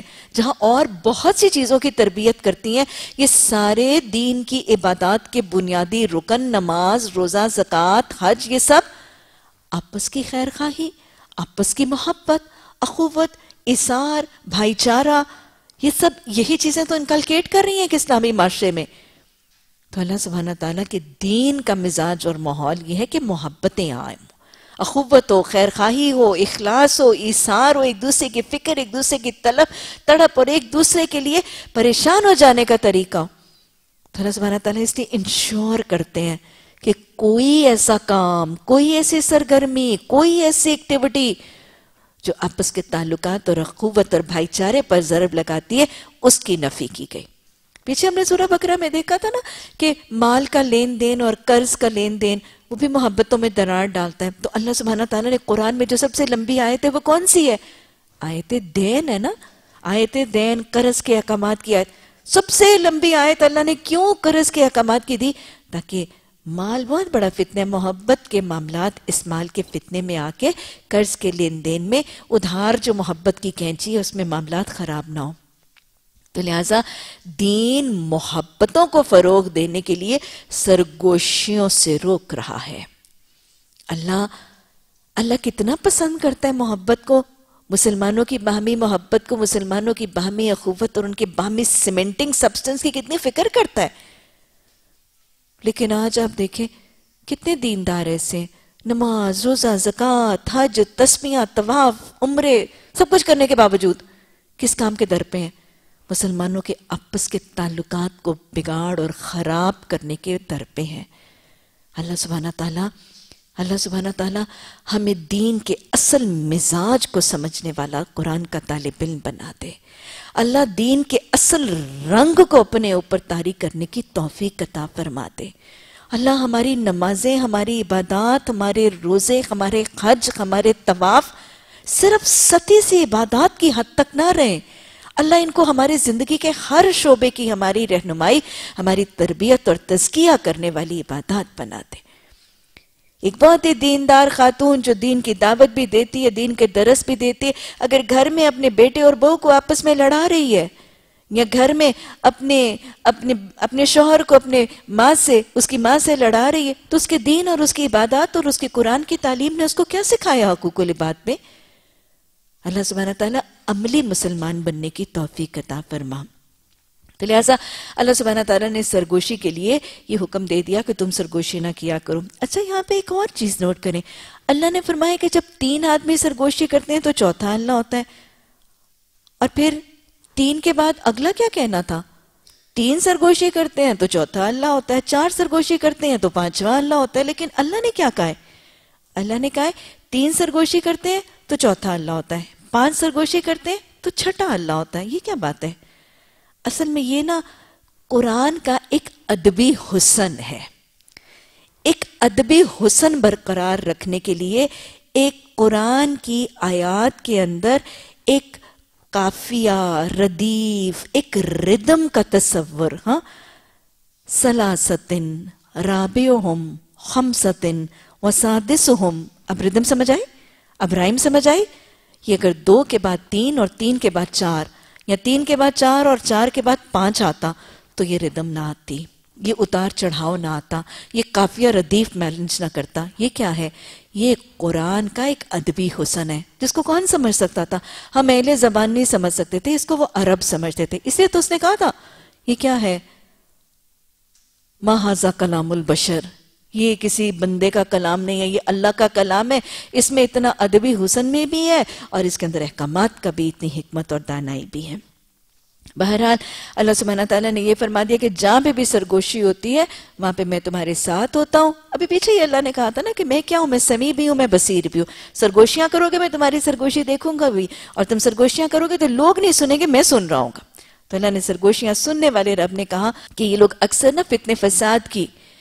فتنے فساد اور لڑائی جھگڑے کی آپس میں گناہ اور زیادتی اور اللہ کے رسول صلی اللہ علیہ وسلم کی نفرمانی کی باتوں میں سرگوشیاں کرتے ہیں۔ اصل میں نبی صلی اللہ علیہ وسلم کی حیات طیبہ میں تو منافقین یہ کام کرتے تھے نا۔ وہ لوگ راتوں کو ملتے تھے، اکٹھے ہوتے تھے یا محفلوں میں بھی یہ سرگوشیوں سے کام کرتے تھے۔ تو اللہ سبحانہ تعالیٰ نے تو بنیادی طور پر نبی صلی اللہ علیہ وسلم کی حیات طیبہ میں منافقین کو ان سرگوشیوں اور ان غلط رویوں اور چھپ چھپ کر سازشیں کرنے سے روکا۔ لیکن ہر دور میں سرگوشی کرنا پھر کس چیز کے لیے ناپسندیدہ ہے؟ کسی گناہ کا کام، کسی زیادتی کا کام یا اللہ اور اللہ کے رسول صلی اللہ علیہ وسلم کی نافرمانی کا کام۔ پیچھے ہم نے دیکھا تھا کہ اللہ سبحانہ تعالیٰ نے اجازت دی ہے نا سرگوشی کی کس چیز کے لیے؟ اگر تم کوئی نیکی کا کام کرو، کوئی صدقہ اور خیرات کی کام کرو یا تم صلح کروانے کے لیے سرگوشی کرو، تو وہ کیا ہے؟ وہ جائز ہے۔ آگے چلنے سے پہلے وہ پھر معاملہ دہرا لیجیے۔ اللہ سبحانہ تعالیٰ نے پھر کیا؟ ایک دفعہ پھر سے سرگوشی کی اجازت پھر کس چیز کے لیے دے دی ہے؟ سرگوشی کے لیے جھوٹ کی صلح کے لیے کس چیز کی اجازت دے دی ہے؟ آپس میں صلح کروانے اور نیکی اور خیر کے کاموں کے لیے اللہ نے سرگوشی اور جھوٹ کی اجازت دے دی ہے۔ گویا روٹھے منہ میں، لڑے ہوئے افراد میں صلح کرانا۔ ابھی پیچھے ہم نے سورہ سورہ حجرات میں پڑھا تھا نا کہ جب دو افراد لڑ پڑیں تو کیا کروا دیا کرو؟ آپس میں صلح کروا دیا کرو۔ تو یہاں سے بھی ہمیں یہ پتہ چل رہا ہے کہ سرگوشی جیسا کام جس کو اللہ نے کرنا پسند نہیں کیا، اللہ نے منع کیا، اللہ نے وہ سرگوشی کے کام کی اجازت کس عمل کے لیے دے دی؟ دو روٹے ہوئے لوگوں میں صلح کرانے کے لیے۔ کیونکہ فساد کرنے والے کون ہوتے ہیں؟ اولائے کا ہم المفسدون۔ فتنہ کرنے والے کون ہوتے ہیں؟ بل فتنہ تو اشد من القتل۔ فتنہ کرنے والے کون ہیں؟ منافق ہیں، فاسق ہیں۔ اور جب تمہارے پاس آتے ہیں تو تمہیں اس طریقے سے سلام کرتے ہیں جس طرح اللہ نے تم پر سلام نہیں کیا اور اپنے دلوں میں کہتے ہیں کہ ہماری ان باتوں پر اللہ ہمیں عذاب کیوں نہیں دیتا؟ ان کے لیے جہنم کافی ہے، اسی کا وہ ایندھن بنیں گے۔ بڑا ہی برا انجام ہے ان کا۔ یہ یہود کا، منافقین کا ایک اور طریقہ۔ یہ کیا کرتے تھے؟ آپ کو پتہ نا کہ وہ یہود کا طریقہ تو ہمیشہ سے ہی، بہت دفعہ یہ تھا کہ وہ اپنی زبانوں کو توڑ موڑ کے کچھ سے کچھ بنا دیتے تھے، ہے نا؟ وہ کیا کہتے تھے؟ کبھی نبی صلی اللہ علیہ وسلم کی گستاخی کے لیے، نعوذ باللہ آپ کو بد دعا دینے کے لیے رعینا کہہ دیتے تھے، ہے نا؟ اسم غیر مسمعین۔ یہ ان کی منفی سرگرمیاں، گستاخی کے لیے بدتمیزی بد کلامی کے لیے اور نعوذ باللہ بد دعا کے لیے یہ طریقہ کار ان کا ہمیشہ ہی جاری تھا۔ ان میں سے ایک اور طریقہ کار ہے کہ جب وہ آپ کے پاس آتے ہیں حیو کا وہ آپ کو زندگی کی دعا دیتے ہیں۔ یعنی ملاقات کے وقت جب آپ کو گریٹ کرتے ہیں، تو وہ اس طرح گریٹ نہیں کرتے جیسے کہ اللہ نے ملاقات کے وقت ایک دوسرے کو دعا دینے کا حکم دیا۔ یہ یہودی ایک واقعہ آتا ہے کہ نبی صلی اللہ علیہ وسلم حضرت عائشہ رضی اللہ تعالیٰ عنہ کے ساتھ آپ صلی اللہ علیہ وسلم تشریف لے جا رہے تھے۔ یہ بخاری اور مسلم کا واقعہ ہے۔ ابن جریر اور ابن ابی حاتم سے روایت ہے۔ کہ حضرت عائشہ فرماتی ہیں کہ میں رسول اللہ صلی اللہ علیہ وسلم کے ساتھ ایک دن جا رہی تھی کہ راستے سے کچھ یہودی گزرے اور انہوں نے نبی صلی اللہ علیہ وسلم کو نعوذ باللہ وہی جیسے اپنی زبان کو موڑ توڑ کر کہتے کچھ تھے مطلب کچھ ہوتا تھا، اور کہتے کسی اور انداز سے، السلام علیکم کی بجائے انہوں نے کیا کہا؟ انہوں نے السلام علیکم کہا۔ اور اس کا مطلب نعوذ باللہ کیا تھا کہ، ثم نعوذ باللہ من ذالکہ، ایک مطلب یہ تھا کہ آپ پر لانت پڑے اور پھٹکار ہو اور دوسرا مطلب یہ بھی آتا ہے نعوذ باللہ کہ آپ کو موت آئے۔ لہٰذا گستاخی بھی تھی اور بد دعا کے کلمات بھی تھے۔ حضرت عائشہ رضی اللہ تعالیٰ عنہ جو ساتھ جا رہی تھی انہوں نے جب یہودیوں کی الفاظ سے یہ گستاخانہ جملہ سنا تو انہوں نے کیا کہا؟ حضرت عائشہ رضی اللہ تعالیٰ عنہ نے فوراً ان کے لیے لانت کا کلمہ واپس لوٹایا۔ اس پر آپ صلی اللہ علیہ وسلم نے کیا فرمایا؟ آپ صلی اللہ علیہ وسلم یزکیہم تسکیہ فرماتے ہیں۔ حضرت عائشہ رضی اللہ تعالی عنہ کو آپ صلی اللہ علیہ وسلم نے فوراً فرمایا، عائشہ، اللہ سبحانہ تعالیٰ کو بدگوئی پسند نہیں۔ چھویں سپارے میں بھی تو اللہ نے فرمایا نا، لا یحب اللہ الجہر بسوئی۔ اللہ کو بدگوئی سے کی بھی بات پسند نہیں۔ تو اللہ کے رسول صلی اللہ علیہ وسلم نے حضرت عائشہ رضی اللہ تعالیٰ عنہ سے فرمایا، اللہ کو بد زبانی پسند نہیں۔ اور کچھ روایات میں آتے ہیں کہ آپ صلی اللہ علیہ وسلم نے فرمایا، عائشہ، سختی نہ کرو، زبان کو نرم رکھو۔ کس کے لیے؟ وہ یہودی۔ جو نبی صلی اللہ علیہ وسلم کے خلاف قاتلانہ سازشیں کر رہے ہیں۔ وہ یہودی جو مسلمانوں کے کٹر دشمن تب سے لے کے آج تک ہیں۔ وہ یہودی جو سر عام رسول اللہ صلی اللہ علیہ وسلم کی گستاخی کر رہے تھے اور آپ صلی اللہ علیہ وسلم کو بد دعا دے رہے تھے۔ نعوذ باللہ، اللہ گلی میں ان کے خلاف آپ صلی اللہ علیہ وسلم نے فرمایا کہ اللہ کو بدگوئی پسند نہیں، سختی نہ کرو، نرمی کرو۔ کیا ہے؟ اللہ نے فرمایا کا لالا خلق نظیم۔ اس میں کوئی شک ہی نہیں ہے کہ محمد صلی اللہ علیہ وسلم بلند ترین اخلاق کے پیمانے پر فائز یہ ہے آپ کا اخلاق۔ یہ ہے آپ کا حسن اخلاق، یہ ہے آپ کے حسن معاملات، اور یہ ہے آپ کا ضبط لسان اور ضبط نفس کا پیغام اور یہ ہے آپ کا قازمین الغیز کا پیغام غصے کو پی جانے کا پیغام۔ اور پھر یہ ہے نبی صلی اللہ علیہ وسلم کی سنت کا نمونہ کہ ذاتی ذاتی کسی عمل پر آپ نے کوئی انتقام کبھی نہیں لیا۔ آپ نے حضرت عائشہ رضی اللہ تعالی عنہ کو مخاطب کر کے فرمایا، جہاں تربیت کی، تزکیہ کی، وہیں آپ نے یہ فرمایا، تم نے سنا نہیں کہ میں نے کیا کہا؟ آپ صلی اللہ علیہ وسلم نے کیا فرمایا تھا؟ آپ نے فرمایا، عائشہ، میں نے کہا، وعلیکم۔ یعنی میں نے کوئی بدگمانی نہیں کی، ہو سکتا میرے سننے میں کوئی کمی ہو۔ بس ٹھیک ہے، وعلیکم اور تم پر بھی۔ یعنی میں نے سنا، ٹھیک سنا، غلط سنا، نہ میں صفائی، نہ میں لڑائی، نہ میں جھگڑا، نہ میں بدگوئی، نہ میں کوئی کسی قسم کی بددعا، نہ میں ذاتی انتقام۔ ہاں جو تم نے کہا، وہ تم پر بھی۔ کتنی حکمت، کتنی دانائی، کتنی فہم، کتنی فراست، کتنا تحمل کتنی بردباری کتنا نفس کا ضبط، کتنا غصے کو پینا، کتنا معاف کرنا ایک ہی سنت کا واقعہ اور سیرت کے انمول نمونوں کا ہار۔ اللہ یہ ہار ہمیں اپنے، ہار ہمیں اپنے اہل خانہ کو اور خود پہننے کی توفیق عطا فرما دے۔ اور اس سے یہ بھی پتا چلتا ہے کہ جب اہل کتاب سلام کریں تو ان کے سلام کا جواب کیا ہوگا؟ وَعَلَيْكُمْ۔ یہ کہا چاہ رہے کہ یہ نبی صلی اللہ علیہ وسلم کو ایسے سلام کرتے تھے نا، اور پھر اپنے دلوں میں کیا کہتے تھے؟ اپنے دلوں میں کہتے تھے کہ ہماری ان باتوں پر اللہ ہمیں عذاب کیوں نہیں دیتا؟ یعنی نعوذ باللہ، ان کا کیا طریقہ تھا کہ نبی صلی اللہ علیہ وسلم کی شاید نبوت پہ شک کرتے تھے۔ وہ کیا کہتے تھے کہ اگر محمد صلی اللہ علیہ وسلم واقعی اللہ کے سچے نبی ہوتے اور ہم ان کے لیے ایسی گستاخی اور نعوذ باللہ ایسے بدعا کے کلمات اللہ کے رسول کے خلاف لگاتے، تو پھر تو ہم پر عذاب آ چکا ہوتا۔ تو گویا یہ اس طرح بدتمیزی کر کے اور گستاخی کر کے نبی صلی اللہ علیہ وسلم کی نبوت پر بھی شک اور اعتراضات کرتے تھے۔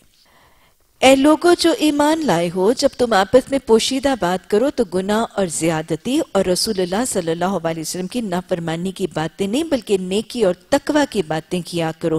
اور اس خدا سے ڈرتے ہوئے جس کے حضور تمہیں حشر میں پیش ہونا ہے، کانا پوسی تو ایک شیطان کا کام ہے۔ وہ تو کی اس لیے جاتی ہے کہ ایمان لانے والے لوگ اس سے رنجیدہ ہوں۔ حالانکہ بے اس نے خدا، انہیں وہ کوئی نقصان نہیں پہنچا سکتی۔ اور مومن کو تو اللہ ہی پر بھروسہ رکھنا چاہیے۔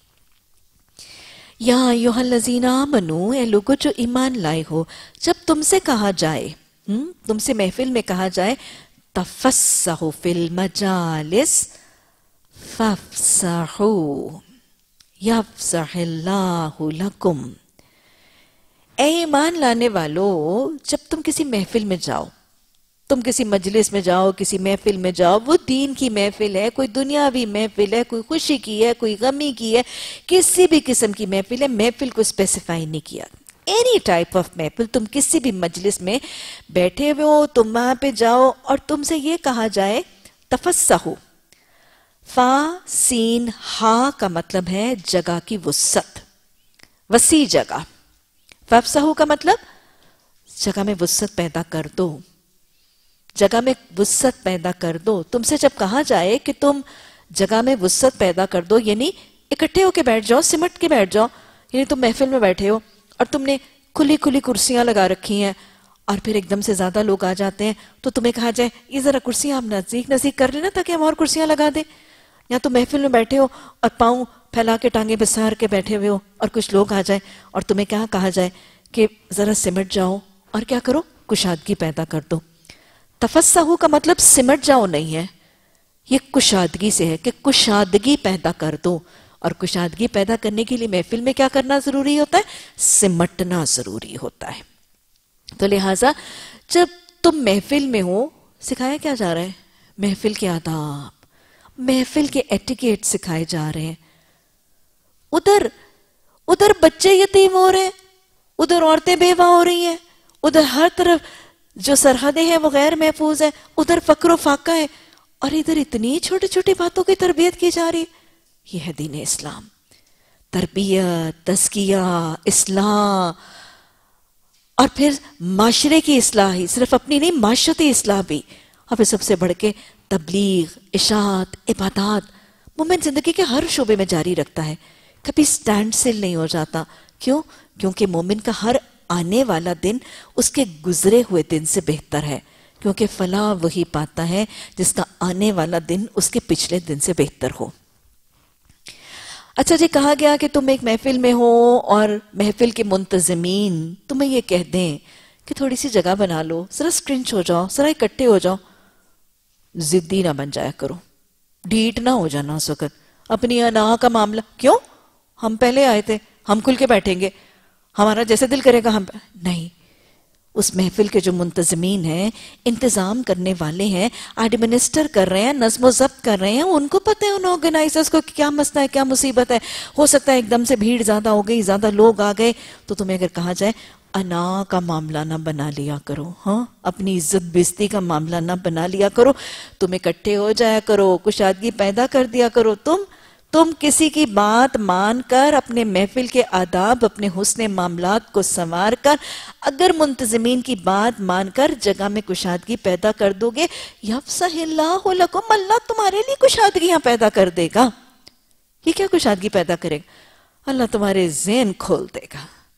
جب دل کی تنگی اتنی ہو کہ آنے والے کو کوئی دل کی تنگی کی وجہ سے جگہ دینے پہ تنگ نہ ہو۔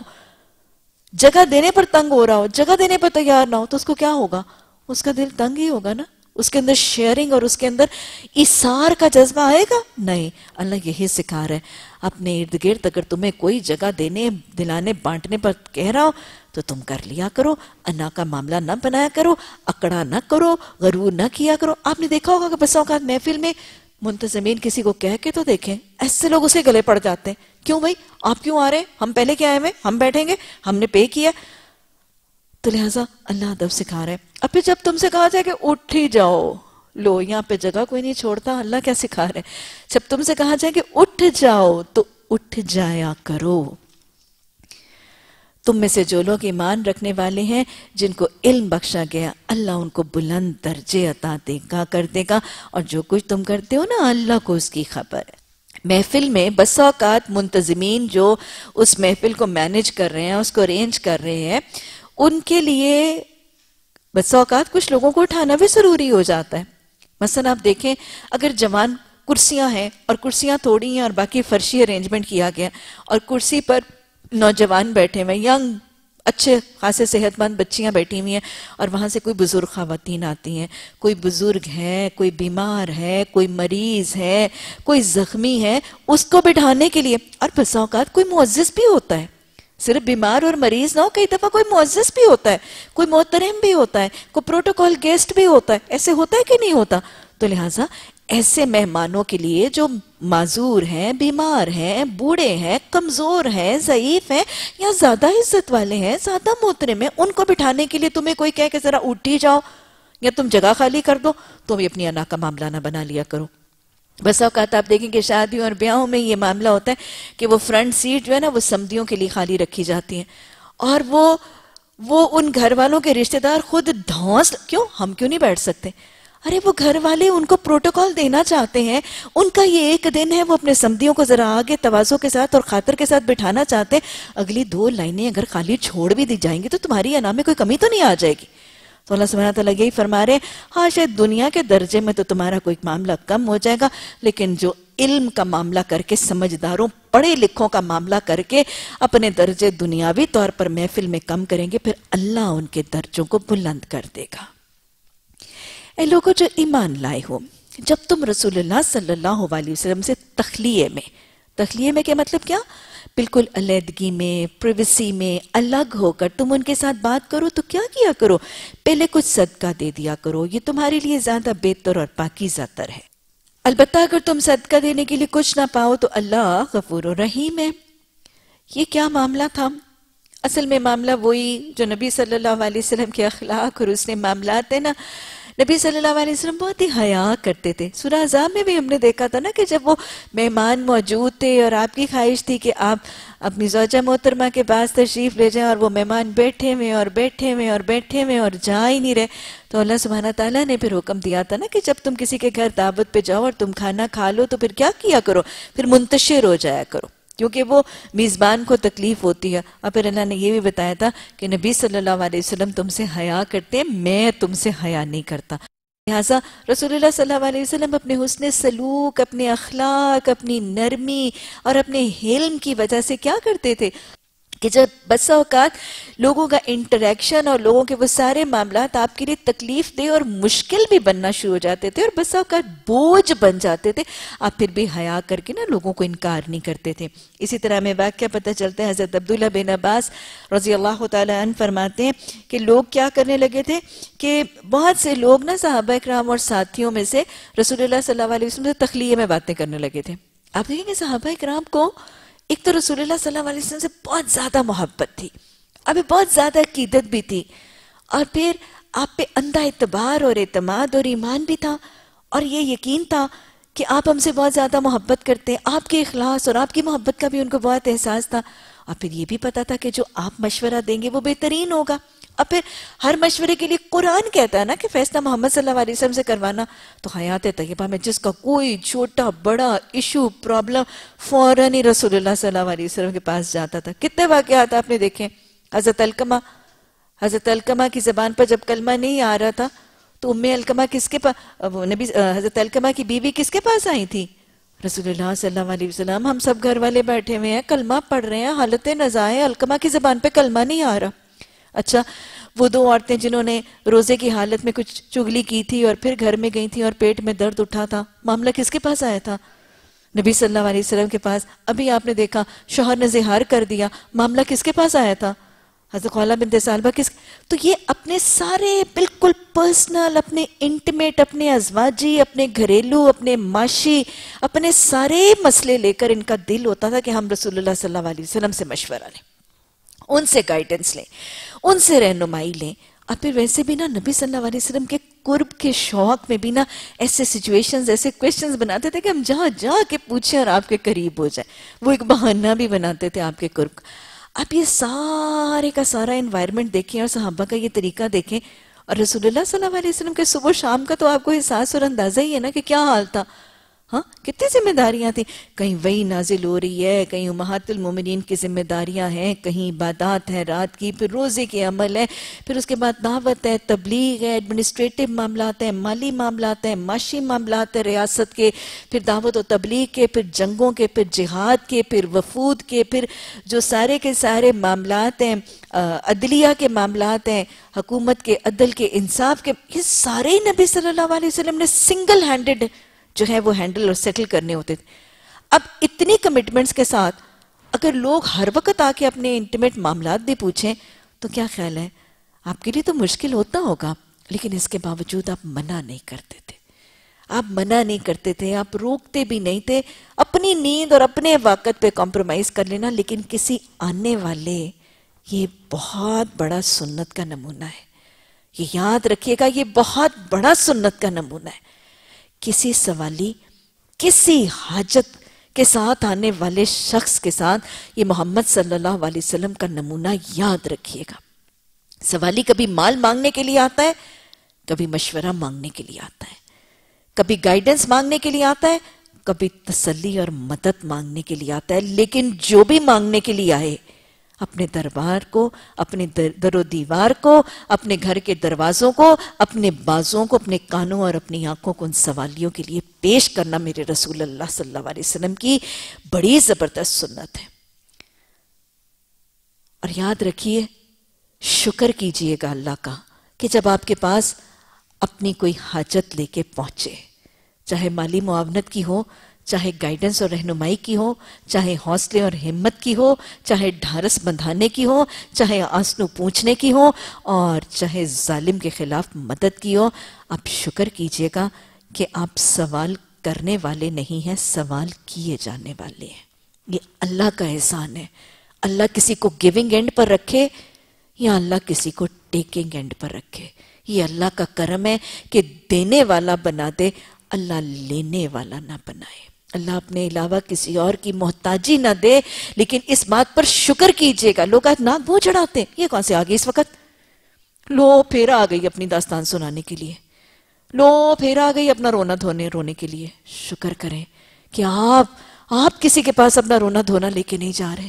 آپ کو اللہ نے اس غم میں اور اس دکھ میں مبتلا نہیں کیا۔ اور کوئی اور آپ کو اس قابل تو سمجھ رہا ہے۔ کوئی آپ کو اتنی استطاعت کے مطابق تو سمجھ رہا ہے؟ آپ کو علمی طور پر، مالی طور پر، دنیاوی طور پر سمجھ، فہم، دین کی فکر کے حساب سے آپ کو کوئی اتنا لائق سمجھ تو رہا ہے؟ یہ تو عزت ہے۔ یہ تو عزت ہے جو لوگ دے رہے ہوتے ہیں۔ یہ تو توفیق ہے جو اللہ دیتا ہے۔ آپ قرآن پڑھائیں گی، آپ دعوت دیں گی۔ یاد رکھیے گا، ایک دائی کو، ایک دائی کو اپنے دعوت دیے جانے والے افراد کے قریب ہونا ضروری ہے۔ ان کے مسائل، ان کی پرابلمز ان کے ایشوز کو سمجھنا، ان کو بانٹنا ضروری ہے۔ اور پھر جب آپ یہ طریقہ اختیار کریں گے اور آپ کے اندر اخلاق ہوگا اور آپ کے معاملات اچھے ہوں گے اچھا دین کا دائی کیا ہوتا ہے؟ محسن؟ محسن کیا ہوتا ہے؟ میں نے پیچھے بھی آپ کو بتایا تھا، محسن کیا ہوتا ہے؟ میگنیٹ ہوتا ہے نا۔ میگنیٹ ہوتا ہے نا، لوگ اس کی طرف کھینچے چلے آتے ہیں۔ تو ہمیں اور آپ کو تو میگنیٹ بننا ہے نا تاکہ لوگ خود سے خود کھینچے چلے آئیں۔ لیکن جب لوگ کھینچے چلے آئیں تو ناک منہ نہ چڑھائیے گا۔ تنگ مت ہو دل تنگ مت کیجیے گا۔ اللہ کا شکر کیجیے گا۔ تحمل، صبر، معاملہ فہمی اور بردباری کے ساتھ ان کے معاملات کو سن کے جتنا علم اور فہم ہے ان کو مسئلہ سمجھانے ان کی گتھیاں سلجھانے، ان کی آنسو پوچھنے، ان کے ان کے ظلم کے خاتمے کی معاونت کرنے کے لیے اٹھ جائے گا۔ اللہ ہمارے اوقات میں بھی برکتیں دے۔ اللہ ہمارے اخلاق بھی سنوارے۔ اللہ ہمیں حسن معاملات کی توفیق عطا فرمائے۔ اللہ ہمیں صبر سے، تحمل سے، اللہ کے دکھی غمزدہ بندوں کی معاونت کے لیے اٹھنے کی توفیق عطا فرمائے۔ اللہ کے رسول صلی اللہ علیہ وسلم تو منع نہیں کرتے تھے۔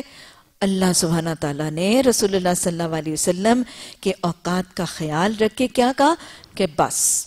یہ جو تم ہر وقت چلے پڑتے ہو نا رسول اللہ صلی اللہ علیہ وسلم کے پاس تخلیق میں بات کرنے کے لیے، نہیں، اب تم نہیں کر سکتے۔ جب تک تم کوئی صدقہ نہ دے دو۔ صدقے کو مشروط کر دیا کیا کہ آئندہ اب کسی بھی نبی صلی اللہ علیہ وسلم کے ساتھی نے بھی اگر محمد صلی اللہ علیہ وسلم سے تخلیے میں ہاں اجتماعی طور پہ نہیں کیونکہ اجتماعی سوال سے تو سب کو فائدہ ہوتا ہے نا۔ اب علیحدہ سے اگر تم سوال کرو گے تو تمہیں صدقہ دینا ہوگا۔ مقصد کیا تھا؟ کسی پر کوئی چٹی ڈالنا مقصد نہیں تھا نا باللہ۔ صدقہ ویسے ہی چٹی نہیں ہوتا، لیکن کسی کو مصیبت میں ڈالنا مقصد نہیں تھا۔ مقصد کیا تھا؟ اللہ سبحانہ تعالیٰ ذرا ہلکا سا ایک ایک اویئرنیس ڈالنا چاہتے تھے۔ ذرا سا کانشس کرنا چاہتے تھے۔ ایک اہمیت کا احساس، ایک بیریئر سا لگا کے یہ احساس پیدا کرنا چاہتے تھے۔ کہ ہر وقت چھوٹے بڑے سارے مسئلوں کے لیے محمد صلی اللہ علیہ وسلم کے اوقات کے اندر خلل انداز نہ ہوا کرو۔ دیکھیں اخلاق کیسے ہوں کہ اللہ سبحانہ تعالیٰ کو خیال آئے اور خود محمد صلی اللہ علیہ وسلم جواب نہ دے۔ یہ ہے ان نقل اللہ خلق نظیم، اللہ اخلاق سوارنے کی توفیق عطا فرما۔ تو اللہ سبحانہ تعالیٰ نے صرف احساس کو بیدار کرنے کے لیے کہ نبی صلی اللہ علیہ وسلم کا وقت بھی قیمتی ہے۔ آپ کے وقت کے قیمتی انمول ہونے کا احساس بیدار کرنے کے لیے اس صدقے کا حکم پہلے دیا گیا۔ اور حدیث میں آتا ہے واقعہ آتے ہیں حضرت علی فرماتے ہیں اب مشاورت سے، کیونکہ اللہ سبحانہ تعالیٰ نے یہ نہیں بتایا تھا نا کہ صدقہ کتنا ہوگا۔ تو نبی صلی اللہ علیہ وسلم سے حضرت علی نے حضرت علی رضی اللہ تعالیٰ عنہ سے مشاورت کی کہ علی، تمہارا کیا خیال ہے کہ اس پر کتنا صدقہ مقرر کیا جائے؟ تمہارا کیا خیال ہے؟ حضرت علی کا درجہ بھی پتا چلتا ہے نا۔ اور حضرت علی کا، علی علم کا دروازہ ہے۔ اور آپ مشورہ کس سے کر رہے ہیں؟ علی علم کا دروازہ، صاحب علم سے مشاورت کی اہمیت پتا چلتی ہے۔ آپ نے حضرت علی رضی اللہ تعالیٰ عنہ سے پوچھا کہ علی کتنا صدقہ مقرر کیا جائے؟ اچھا ایک اور بات پتا چل رہی ہے۔ آپ صلی اللہ علیہ وسلم نے مشاورت کس سے کی؟ ایک تو وہ شخص جو صاحب علم، اور دوسرے اپنے سے چھوٹے، اپنے سے چھوٹے۔ کتنی عاجزی ہے، کتنی معاملہ فہمی ہے۔ علم کے معاملے میں، علم کے حصول میں، علمی معاملات کے مشاورت میں عمر کا بڑا چھوٹا ہونا، معاشرتی طور پر اونچا نیچا ہونا، اس کو کبھی بھی مد نظر مت رکھیے گا۔ علم کی بلندی اور علم کے درجے کو بلند رکھنا ضروری ہے نظر میں۔ آپ نے فرمایا کہ کتنا صدقہ کیا جائے، مقرر کیا جائے۔ کیا ایک دنار تو حضرت علی فرماتے ہیں کہ میں نے فرمایا، یا رسول اللہ صلی اللہ علیہ وسلم، ایک دنار تو بہت زیادہ ہے۔ یہ تو لوگوں کی مقدرت میں نہیں ہوگا۔ تو آپ نے فرمایا، کیا نصف دینار؟ آپ صلی اللہ علیہ وسلم کو حضرت علی نے مشورہ دیا کہ نہیں یا رسول اللہ صلی اللہ علیہ وسلم نصف دینار بھی بہت زیادہ ہے تو آپ دیکھیں کہ گویا مشاورت میں کتنی برکت ہے اور مشاورت رسول اللہ صلی اللہ علیہ وسلم صاحب علم سے کر رہے ہیں، لیکن مشورہ دینے والا ادب سے دے گا ادب سے دے گا اور پھر دائرہ اخلاق کے اندر رہ کے دے گا اور لاجک سے دے گا۔ تو پھر ایسا مشورہ اگر کسی چھوٹے کی طرف سے بھی آئے نا، عمر سے چھوٹے کی طرف سے، اس کو اپنی انا کا معاملہ نہ بنا لیا کریں۔ اگر چھوٹا بھی کوئی لاجیکل اور صحیح مشورہ دے رہا ہے، تو اس کو کھلے دل اور دماغ سے ماننا انبیاء کی سنت ہے۔ بہرحال، آپ صلی اللہ علیہ وسلم نے پوچھا کہ پھر اچھا تمہیں بتا دو کتنا؟ تو حضرت علی نے کیا فرمایا؟ جو کے برابر سونا۔ جو کے دانے کے برابر سونا۔ تو اس پر نبی صلی اللہ علیہ وسلم نے فرمایا کہ علی، تم نے تو بہت ہی تھوڑی سی مقدار کا مشورہ دے دیا۔ بہرحال آپ نے یہی مشورہ جو ہے، یہی اس کا اعلان فرما دیا کہ قرآن نے یہ جو صدقے کی تجویز دی ہے اور یہ کہا ہے کہ صدقہ کیا کرو گے سرگوشی سے پہلے محمد صلی اللہ علیہ وسلم کے ساتھ، تو اب یہ صدقہ کتنا فکس ہوا ہے جی؟ یہ ایک جو کے دانے کے برابر سونا۔ اچھا جب یہ حکم آیا اور آپ صلی اللہ علیہ وسلم اس حکم کی تشریح میں ایک جو کا دانہ اور اس کے برابر سونا جو ہے صدقہ تجویز کر دی، تو حضرت علی فرماتے ہیں کہ میرا ایک ذاتی سا معاملہ تھا۔ میرا ایک ذاتی سا مسئلہ تھا۔ میں نے فوراً، میں نے فوراً یہ صدقہ دیا اور نبی صلی اللہ علیہ وسلم سے اپنا سوال پوچھ لیا۔ اور جب حضرت علی نے یہ سوال پوچھ لیا اللہ سبحانہ تعالیٰ نے صدقے لینے کے لیے یا خیرات کے لیے تو یہ حکم دیا ہی نہیں تھا۔ ابھی میں نے آپ کو بتایا، وہ تو نبی صلی اللہ علیہ وسلم کی وقت کی قیمت کا احساس پیدا کرنے کے لیے یہ حکم دیا گیا۔ حضرت علی نے صدقہ دے کر اپنا پرسنل معاملہ پوچھا اور ساتھ ہی تھوڑی دیر کے بعد حکم آ گیا، کیا تم ڈر گئے؟ اس بات سے کہ تخلیے میں گفتگو کرنے سے پہلے تمہیں صدقات دینے ہوں گے؟ کیونکہ ظاہر ہے آپ کو پتہ ہے، صحابہ کرام تو یہ تھے کہ نکاح کے لیے آپ پوچھ رہے ہیں کہ تمہارے گھر میں کوئی لوہے کی انگوٹھی ہے، وہ ہی لے آؤ، میں حق مہر بنا دوں۔ تو صحابی کیا کہتے ہیں؟ میرے گھر میں تو لوہے کی انگوٹھی، کیا لوہے کا کیل بھی نہیں ہے؟ تو یہ اتنی مالی تنگی والے صحابہ وہ تو پریشان ہو گئے کہ اب تو ہم ذاتی مسئلے پوچھ نہیں سکیں گے۔ تو اللہ نے فرمایا، کیا تم ڈر گئے اس بات سے کہ تخلیہ میں گفتگو کرنے سے پہلے تمہیں صدقات دینے ہوں گے؟ اچھا اگر تم ایسا نہ کرو، اگر تم ایسا نہ کرو اور اللہ نے تم کو اس سے معاف کر دیا، تو تم نماز قائم کرتے رہو، زکوٰۃ دیتے رہو، اللہ اور اللہ کے رسول صلی اللہ علیہ وسلم کی اطاعت کرتے رہو۔ جو کچھ تم کرتے ہو نا، اللہ اس سے باخبر ہے۔ تو بہرحال پھر وہ جو اوپر حکم صدقے کا آیا تھا، اس کو کینسل کر دیا گیا اور پھر کہا گیا کہ نہیں، اب تقوی کر کے معاملہ کرنا تمہیں تو صرف سینسٹائز کرنے کے لیے اور کانشس کرنے کے لیے یہ حکم دیا جا رہا تھا۔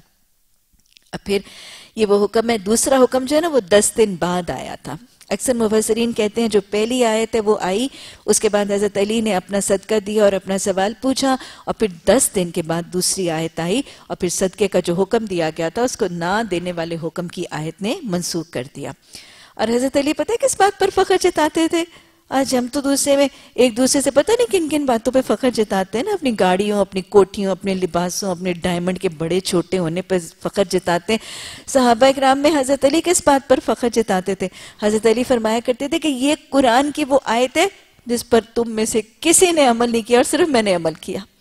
تو قرآن کی آیات پر عمل کرنے میں ایک دوسرے سے سبقت لے جانے کا شوق، یہ وہ آیت ہے۔ جس پر میں نے عمل کیا اور کسی صحابی نے نہیں کیا۔ اللہ فستبق الخیرات کا ایسا صحیح سچا حرصتا فرما دے۔ کیا تم لوگوں نے دیکھا نہیں ان لوگوں کو جنہوں نے دوست بنا لیا ہے؟ اب پھر بہت دیر کے بعد ولایت کے تصور میں ایک پھر حکم آ رہا ہے۔ ہم نے سورہ العمران میں، اس کے بعد پھر ہم نے سورہ توبہ میں اور بیچ میں بھی بہت دفعہ انسانی رشتوں اور انسانی تعلقات کے حوالے سے قرآن اور حدیث کی رہنمائی کا تذکرہ دیکھا۔ اللہ سبحانہ تعالیٰ نے ہمیں بار بار پہلے یہ کہا کہ ولایت کافروں سے نہ کرنا، پھر کہا گیا ولایت اہل کتاب سے نہ کرنا، ہے نا؟ اور پھر سورہ توبہ میں کہہ دیا گیا کہ اگر تمہارے باپ اور تمہارے بھائی بھی کفر کو ایمان پہ ترجیح دیں تو اپنے ایسے باپوں اور ایسے بھائیوں کے ساتھ بھی ولایت نہ کرنا۔ منافقوں سے ولایت پر روکا گیا۔ انسانی تعلقات کی قسمیں چار، ہے نا؟ دو رائے۔ پہلی کون سی ہوتی ہے؟ معاملات۔ ڈیلی انٹریکشنز پھر مدارات۔ جب کوئی ہمارے گھر میں آتا ہے تو ہم اس کی توازو کرتے ہیں۔ تیسری مواسات خیر خواہی غم گساری مدد، معاونت، ہمدردی۔ اس کے بعد چوتھی موالات، وہ جو دلی محبت ہے، وہ جو مشاورت ہے، وہ جو راز و نیاز اور بھیت ہے، وہ جو فرصت کے اوقات کی مصروفیات ہیں، وہ جو ایک دوسرے کے ساتھ انٹرٹینمنٹ ہے، یہ موالات ہیں۔ تو اللہ سبحانہ تعالیٰ آج پھر موالات کے حوالے سے رہنمائی فرما رہے تم نے دیکھا ان لوگوں کو جو ولایت کرتے ہیں، جو موالات کرتے ہیں، کن لوگوں کے ساتھ؟ ان لوگوں کے ساتھ جو اللہ کے مغدوب ہیں۔ مغدوب کون تھے؟ غیر المغدوب یہود کو مغدوب کہا گیا ہے۔ کیسے پتہ چلتا ہے؟ سورہ بقرہ میں اللہ سبحانہ تعالیٰ نے فرمایا وَبَاؤُ بِغَزَبٍ عَلَى غَزَب وہ اللہ کے غزب پر غزب کا مالا ہے۔ تو مغدوب سے مراد یہودی ہے۔ تو اللہ فرما رہے ہیں، تم لوگوں نے ایسے لوگوں کو دیکھا نہیں ہے جو ولایت کرتے ہیں مغدوب سے؟ وہ نہ تمہارے ہیں، نہ ان کے ہیں۔ یعنی جو لوگ ایسے یہودیوں کے ساتھ، اہل کتاب کے ساتھ ولایت کرتے ہیں، اللہ نے کیا کہا؟ نہ وہ یہودی ہیں، نہ وہ دائرہ اسلام میں ہیں۔ نہ وہ امت رسول صلی اللہ علیہ وسلم کے فرد ہیں اور نہ ہی وہ یہود میں سے۔ ہیں وہ نہ تمہارے ہیں، نہ ان کے ہیں۔ وہ جان بوجھ کر جھوٹی باتوں پر قسمیں کھاتے ہیں۔ اللہ نے ان کے لیے سخت عذاب مہیا کر رکھا ہے۔ بڑے ہی برے کرتوت ہیں جو وہ لوگ کر رہے ہیں۔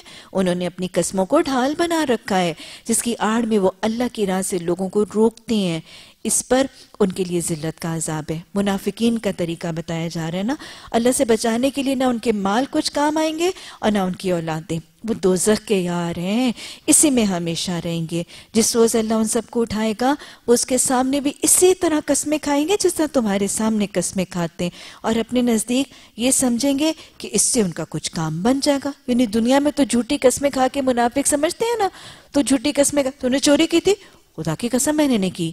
تم نے تم نے سر کا کیا، خدا کی قسم میں نے نہیں کیا۔ دنیا میں تو جھوٹی قسم کھا کے وہ بچ جاتے ہیں نا۔ دنیا میں، آخرت میں بھی وہ جھوٹی قسمیں کھا کر یہ سمجھیں گے کہ ان کا کچھ کام بن جائے گا۔ خوب جان لو، یہ پرلے درجے کے جھوٹے ہیں۔ شیطان ان پر مسلط ہو چکا ہے۔ شیطان نے مسلط ہو کر کیا کیا ہے؟ شیطان نے مسلط ہو کر کیا کیا ہے؟ اس نے خدا کی یاد ہی ان کے دل سے بھلا دی ہے۔ وہ شیطان کی پارٹی کے لوگ ہیں۔ خبردار رو شیطان کی پارٹی والے ہی خسارے والے ہیں۔ یقیناً ذلیل ترین مخلوق میں سے وہ ہیں جو اللہ اور اللہ کے رسول صلی اللہ علیہ وسلم کا مقابلہ کرتے ہیں۔ اللہ نے لکھ دیا ہے کہ میں اور میرے رسول صلی اللہ علیہ وسلم غالب ہو کر رہیں گے۔ فی الواقع اللہ بڑا زبردست اور زوراور ہے۔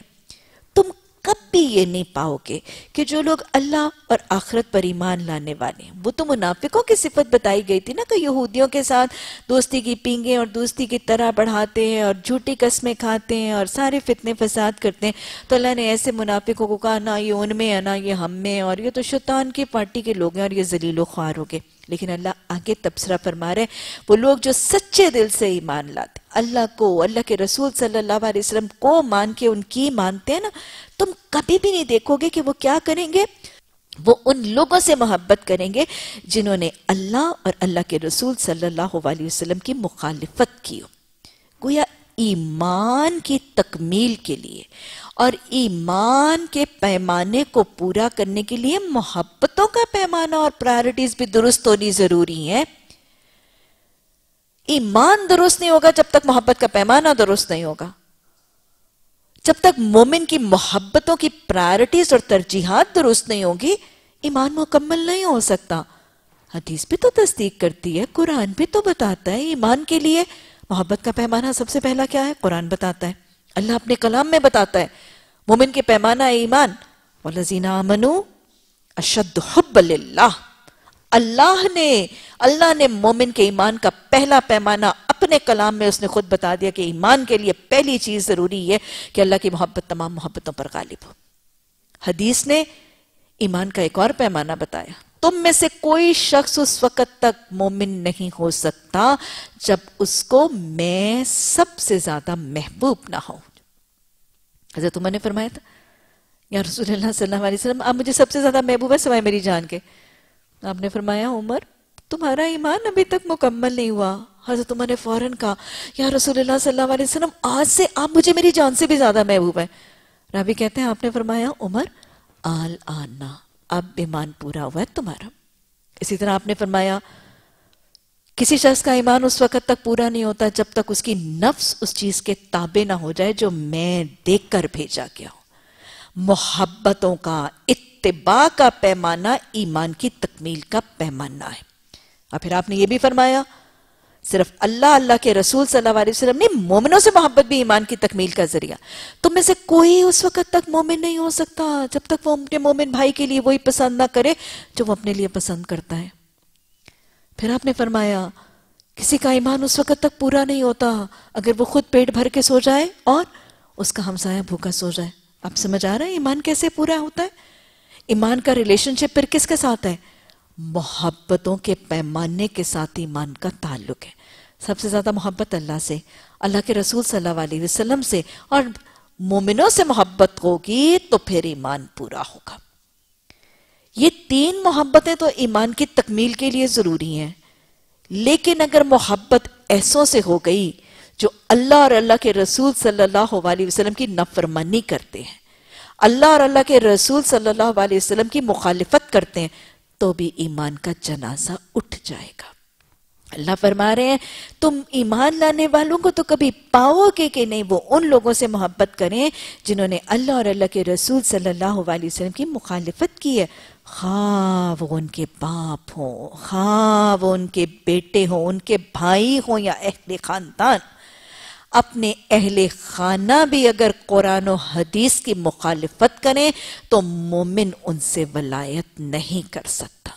اگر کلمہ گو، اپنے ایسے باپوں، اپنے ایسے بھائیوں، اپنے ایسے اہل خانہ سے اگر کلمہ گو محبت کر رہا ہے، جو قرآن اور حدیث کی مخالفت کر رہے ہیں، تو ایسے مومن کا ایمان پورا نہیں۔ ایسے ایسے کلمہ گو کا ایمان پورا نہیں۔ یہ وہی ہے جو سورہ توبہ میں اللہ نے فرمایا تھا۔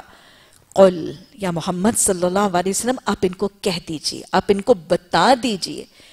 انکان آباؤکم وأبناؤكم وإخوانكم وأزواجكم وأشيراتكم وأموال اقترفتموها وتجارة تخشون كسادها ومساكن ترزونها أحب إليكم من الله ورسوله فتربصوا. پھر تم ویٹ کرو. اگر تمہارے باپ، تمہارے بیٹے، تمہارے بھائی، تمہاری ازواج، تمہارے رشتہ دار، تمہارے مال جو تم کماتے ہو، تمہاری تجارتیں جن کے ماند پڑنے ٹھپ ہو جانے سے تم ڈرتے ہو، اور وہ گھر جو تمہیں بڑے محبوب ہیں، یہ سب تمہیں اللہ اور اللہ کے رسول احبا الیکم من اللہ و رسولہ و جہاد فی سبیلہ فتربسوا حتی یاتی اللہ بی امرہ ان اللہ لا یحد القوم الفاسقین، یہ لوگ فاسق ہیں۔ یہ پھر لوگ فاسق ہیں۔ یہ خدایت سے محروم۔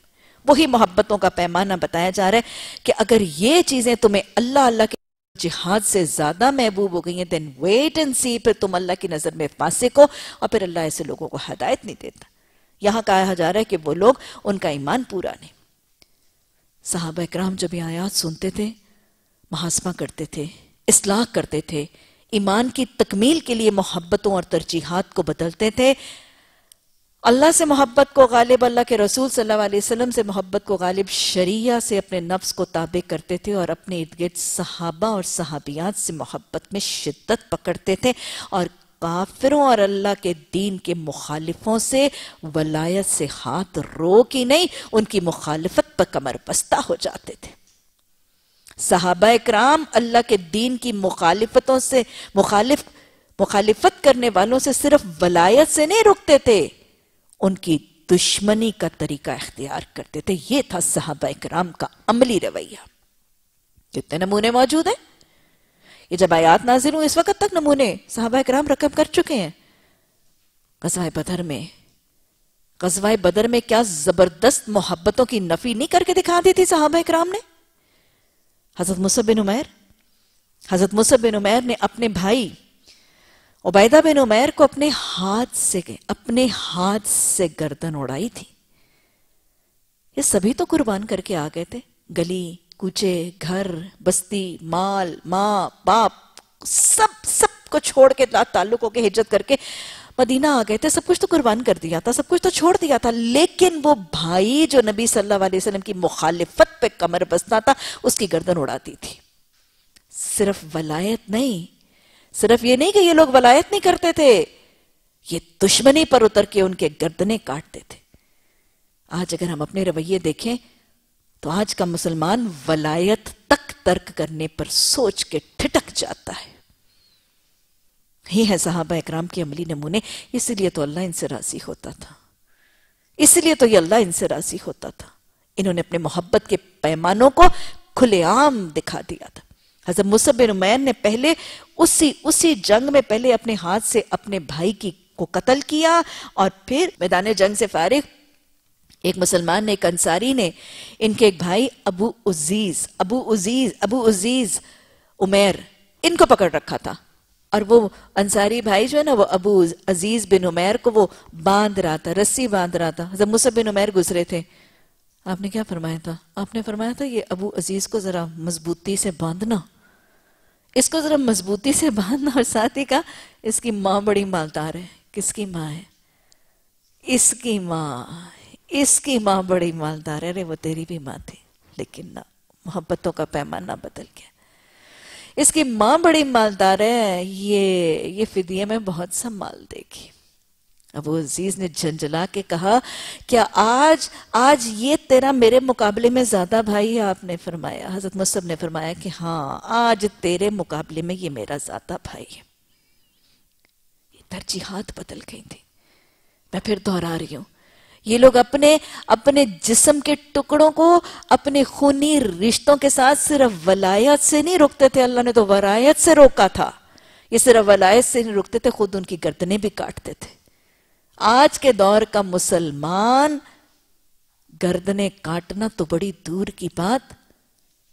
گردنے کاٹنا تو بڑے دور کی بات۔ اپنے عزیز و قارب، اپنے رشتہ داروں کی ولایت سے رکنا بھی بڑی دور کی بات، آج اپنے ارد گرد، اپنے ماحول اور اپنے معاشرے میں امر بالمعروف و نہیں انل منکر کرنے سے بھی رک جاتا ہے۔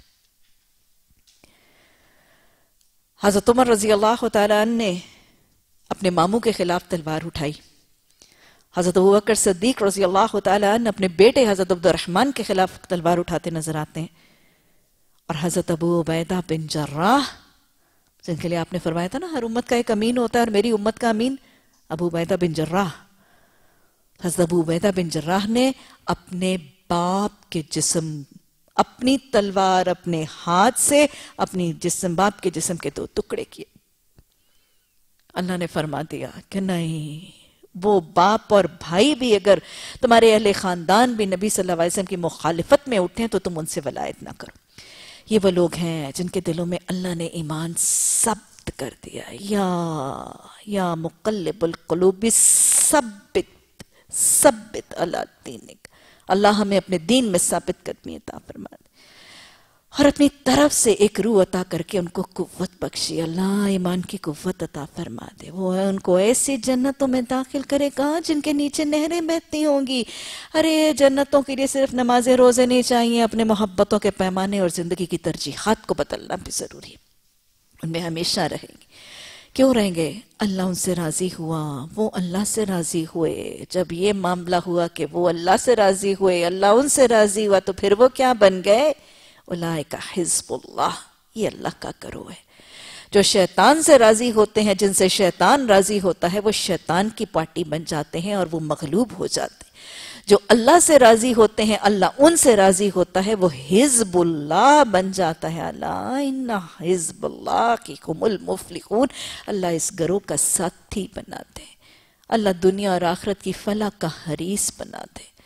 اللہ اس اس گرو اور اس حز میں شامل ہو کر فلاح کے نسخے پانے والا خوش نصیب بنا دے۔ اللہ کن سے راضی ہوتا ہے؟ جو اس سے راضی ہوتے ہیں۔ کتنا زبردست ہے یہ لیبل۔ صحابہ اکرام کو یہ ٹائٹل ملا ہے نا۔ رضی اللہ عنہم وردو ان۔ کتنا بڑا ٹائٹل ہے یہ۔ ہم ہر صحابہ، ہر صحابی کے نام سے پہلے کے بعد یہ پکارتے ہیں۔ حضرت ابو بکر صدیق رضی اللہ عنہ۔ اللہ ان سے راضی ہو۔ ہے نا؟ یہ پکارتے ہیں۔ کتنا بڑا یہ ٹائٹل ہے، کتنا بڑا یہ لیبل ہے۔ نبی صلی اللہ علیہ وسلم کے صحابہ اکرام کے علاوہ کسی اور کو نہیں یہ ملتا۔ کیوں ملا تھا؟ اللہ ان سے راضی کیوں ہوا تھا؟ وردو ان وہ اس سے راضی تھے۔ آج نسخہ سمجھ لیجیے اللہ کی رضا کا۔ اللہ کن سے راضی ہوتا ہے؟ جو اس سے راضی ہوتے ہیں۔ اللہ سے راضی ہونے کا مطلب کیا ہے؟ اللہ سے راضی ہونے کا مطلب کا نتیجہ تو یہ ہے کہ رب راضی ہوتا ہے، لیکن اللہ سے راضی ہونے کا مطلب اور طریقہ کیا ہے؟ نمبر ون اللہ کا جو حکم آئے، جو جہاں جب جیسا حکم آئے، سورہ نور میں آئے حساب میں آئے، حجرات میں آئے، بقرہ میں آئے نصاب میں آئے، کہیں بھی اللہ کا حکم آئے، جو آئے، جب آئے، جہاں آئے، جیسا آئے، جس کا مجھے پہلے علم نہیں تھا، علم آنے کے بعد راضی برضا ہو کر، بغیر کسی تنقید کے، بغیر کسی کیلو کال کے، بغیر کسی تردد کے، میں راضی ہو کر اس پر عمل کرنے لگوں۔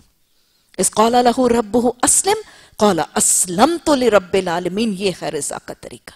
اللہ میں تیرے ہر حکم پر راضی ہوں۔ اللہ میں تیرے ہر حکم پر راضی برضا رہ کے سر تسلیم خم کر کے اطاعت کرتی ہوں، یہ رضا کا طریقہ ہے۔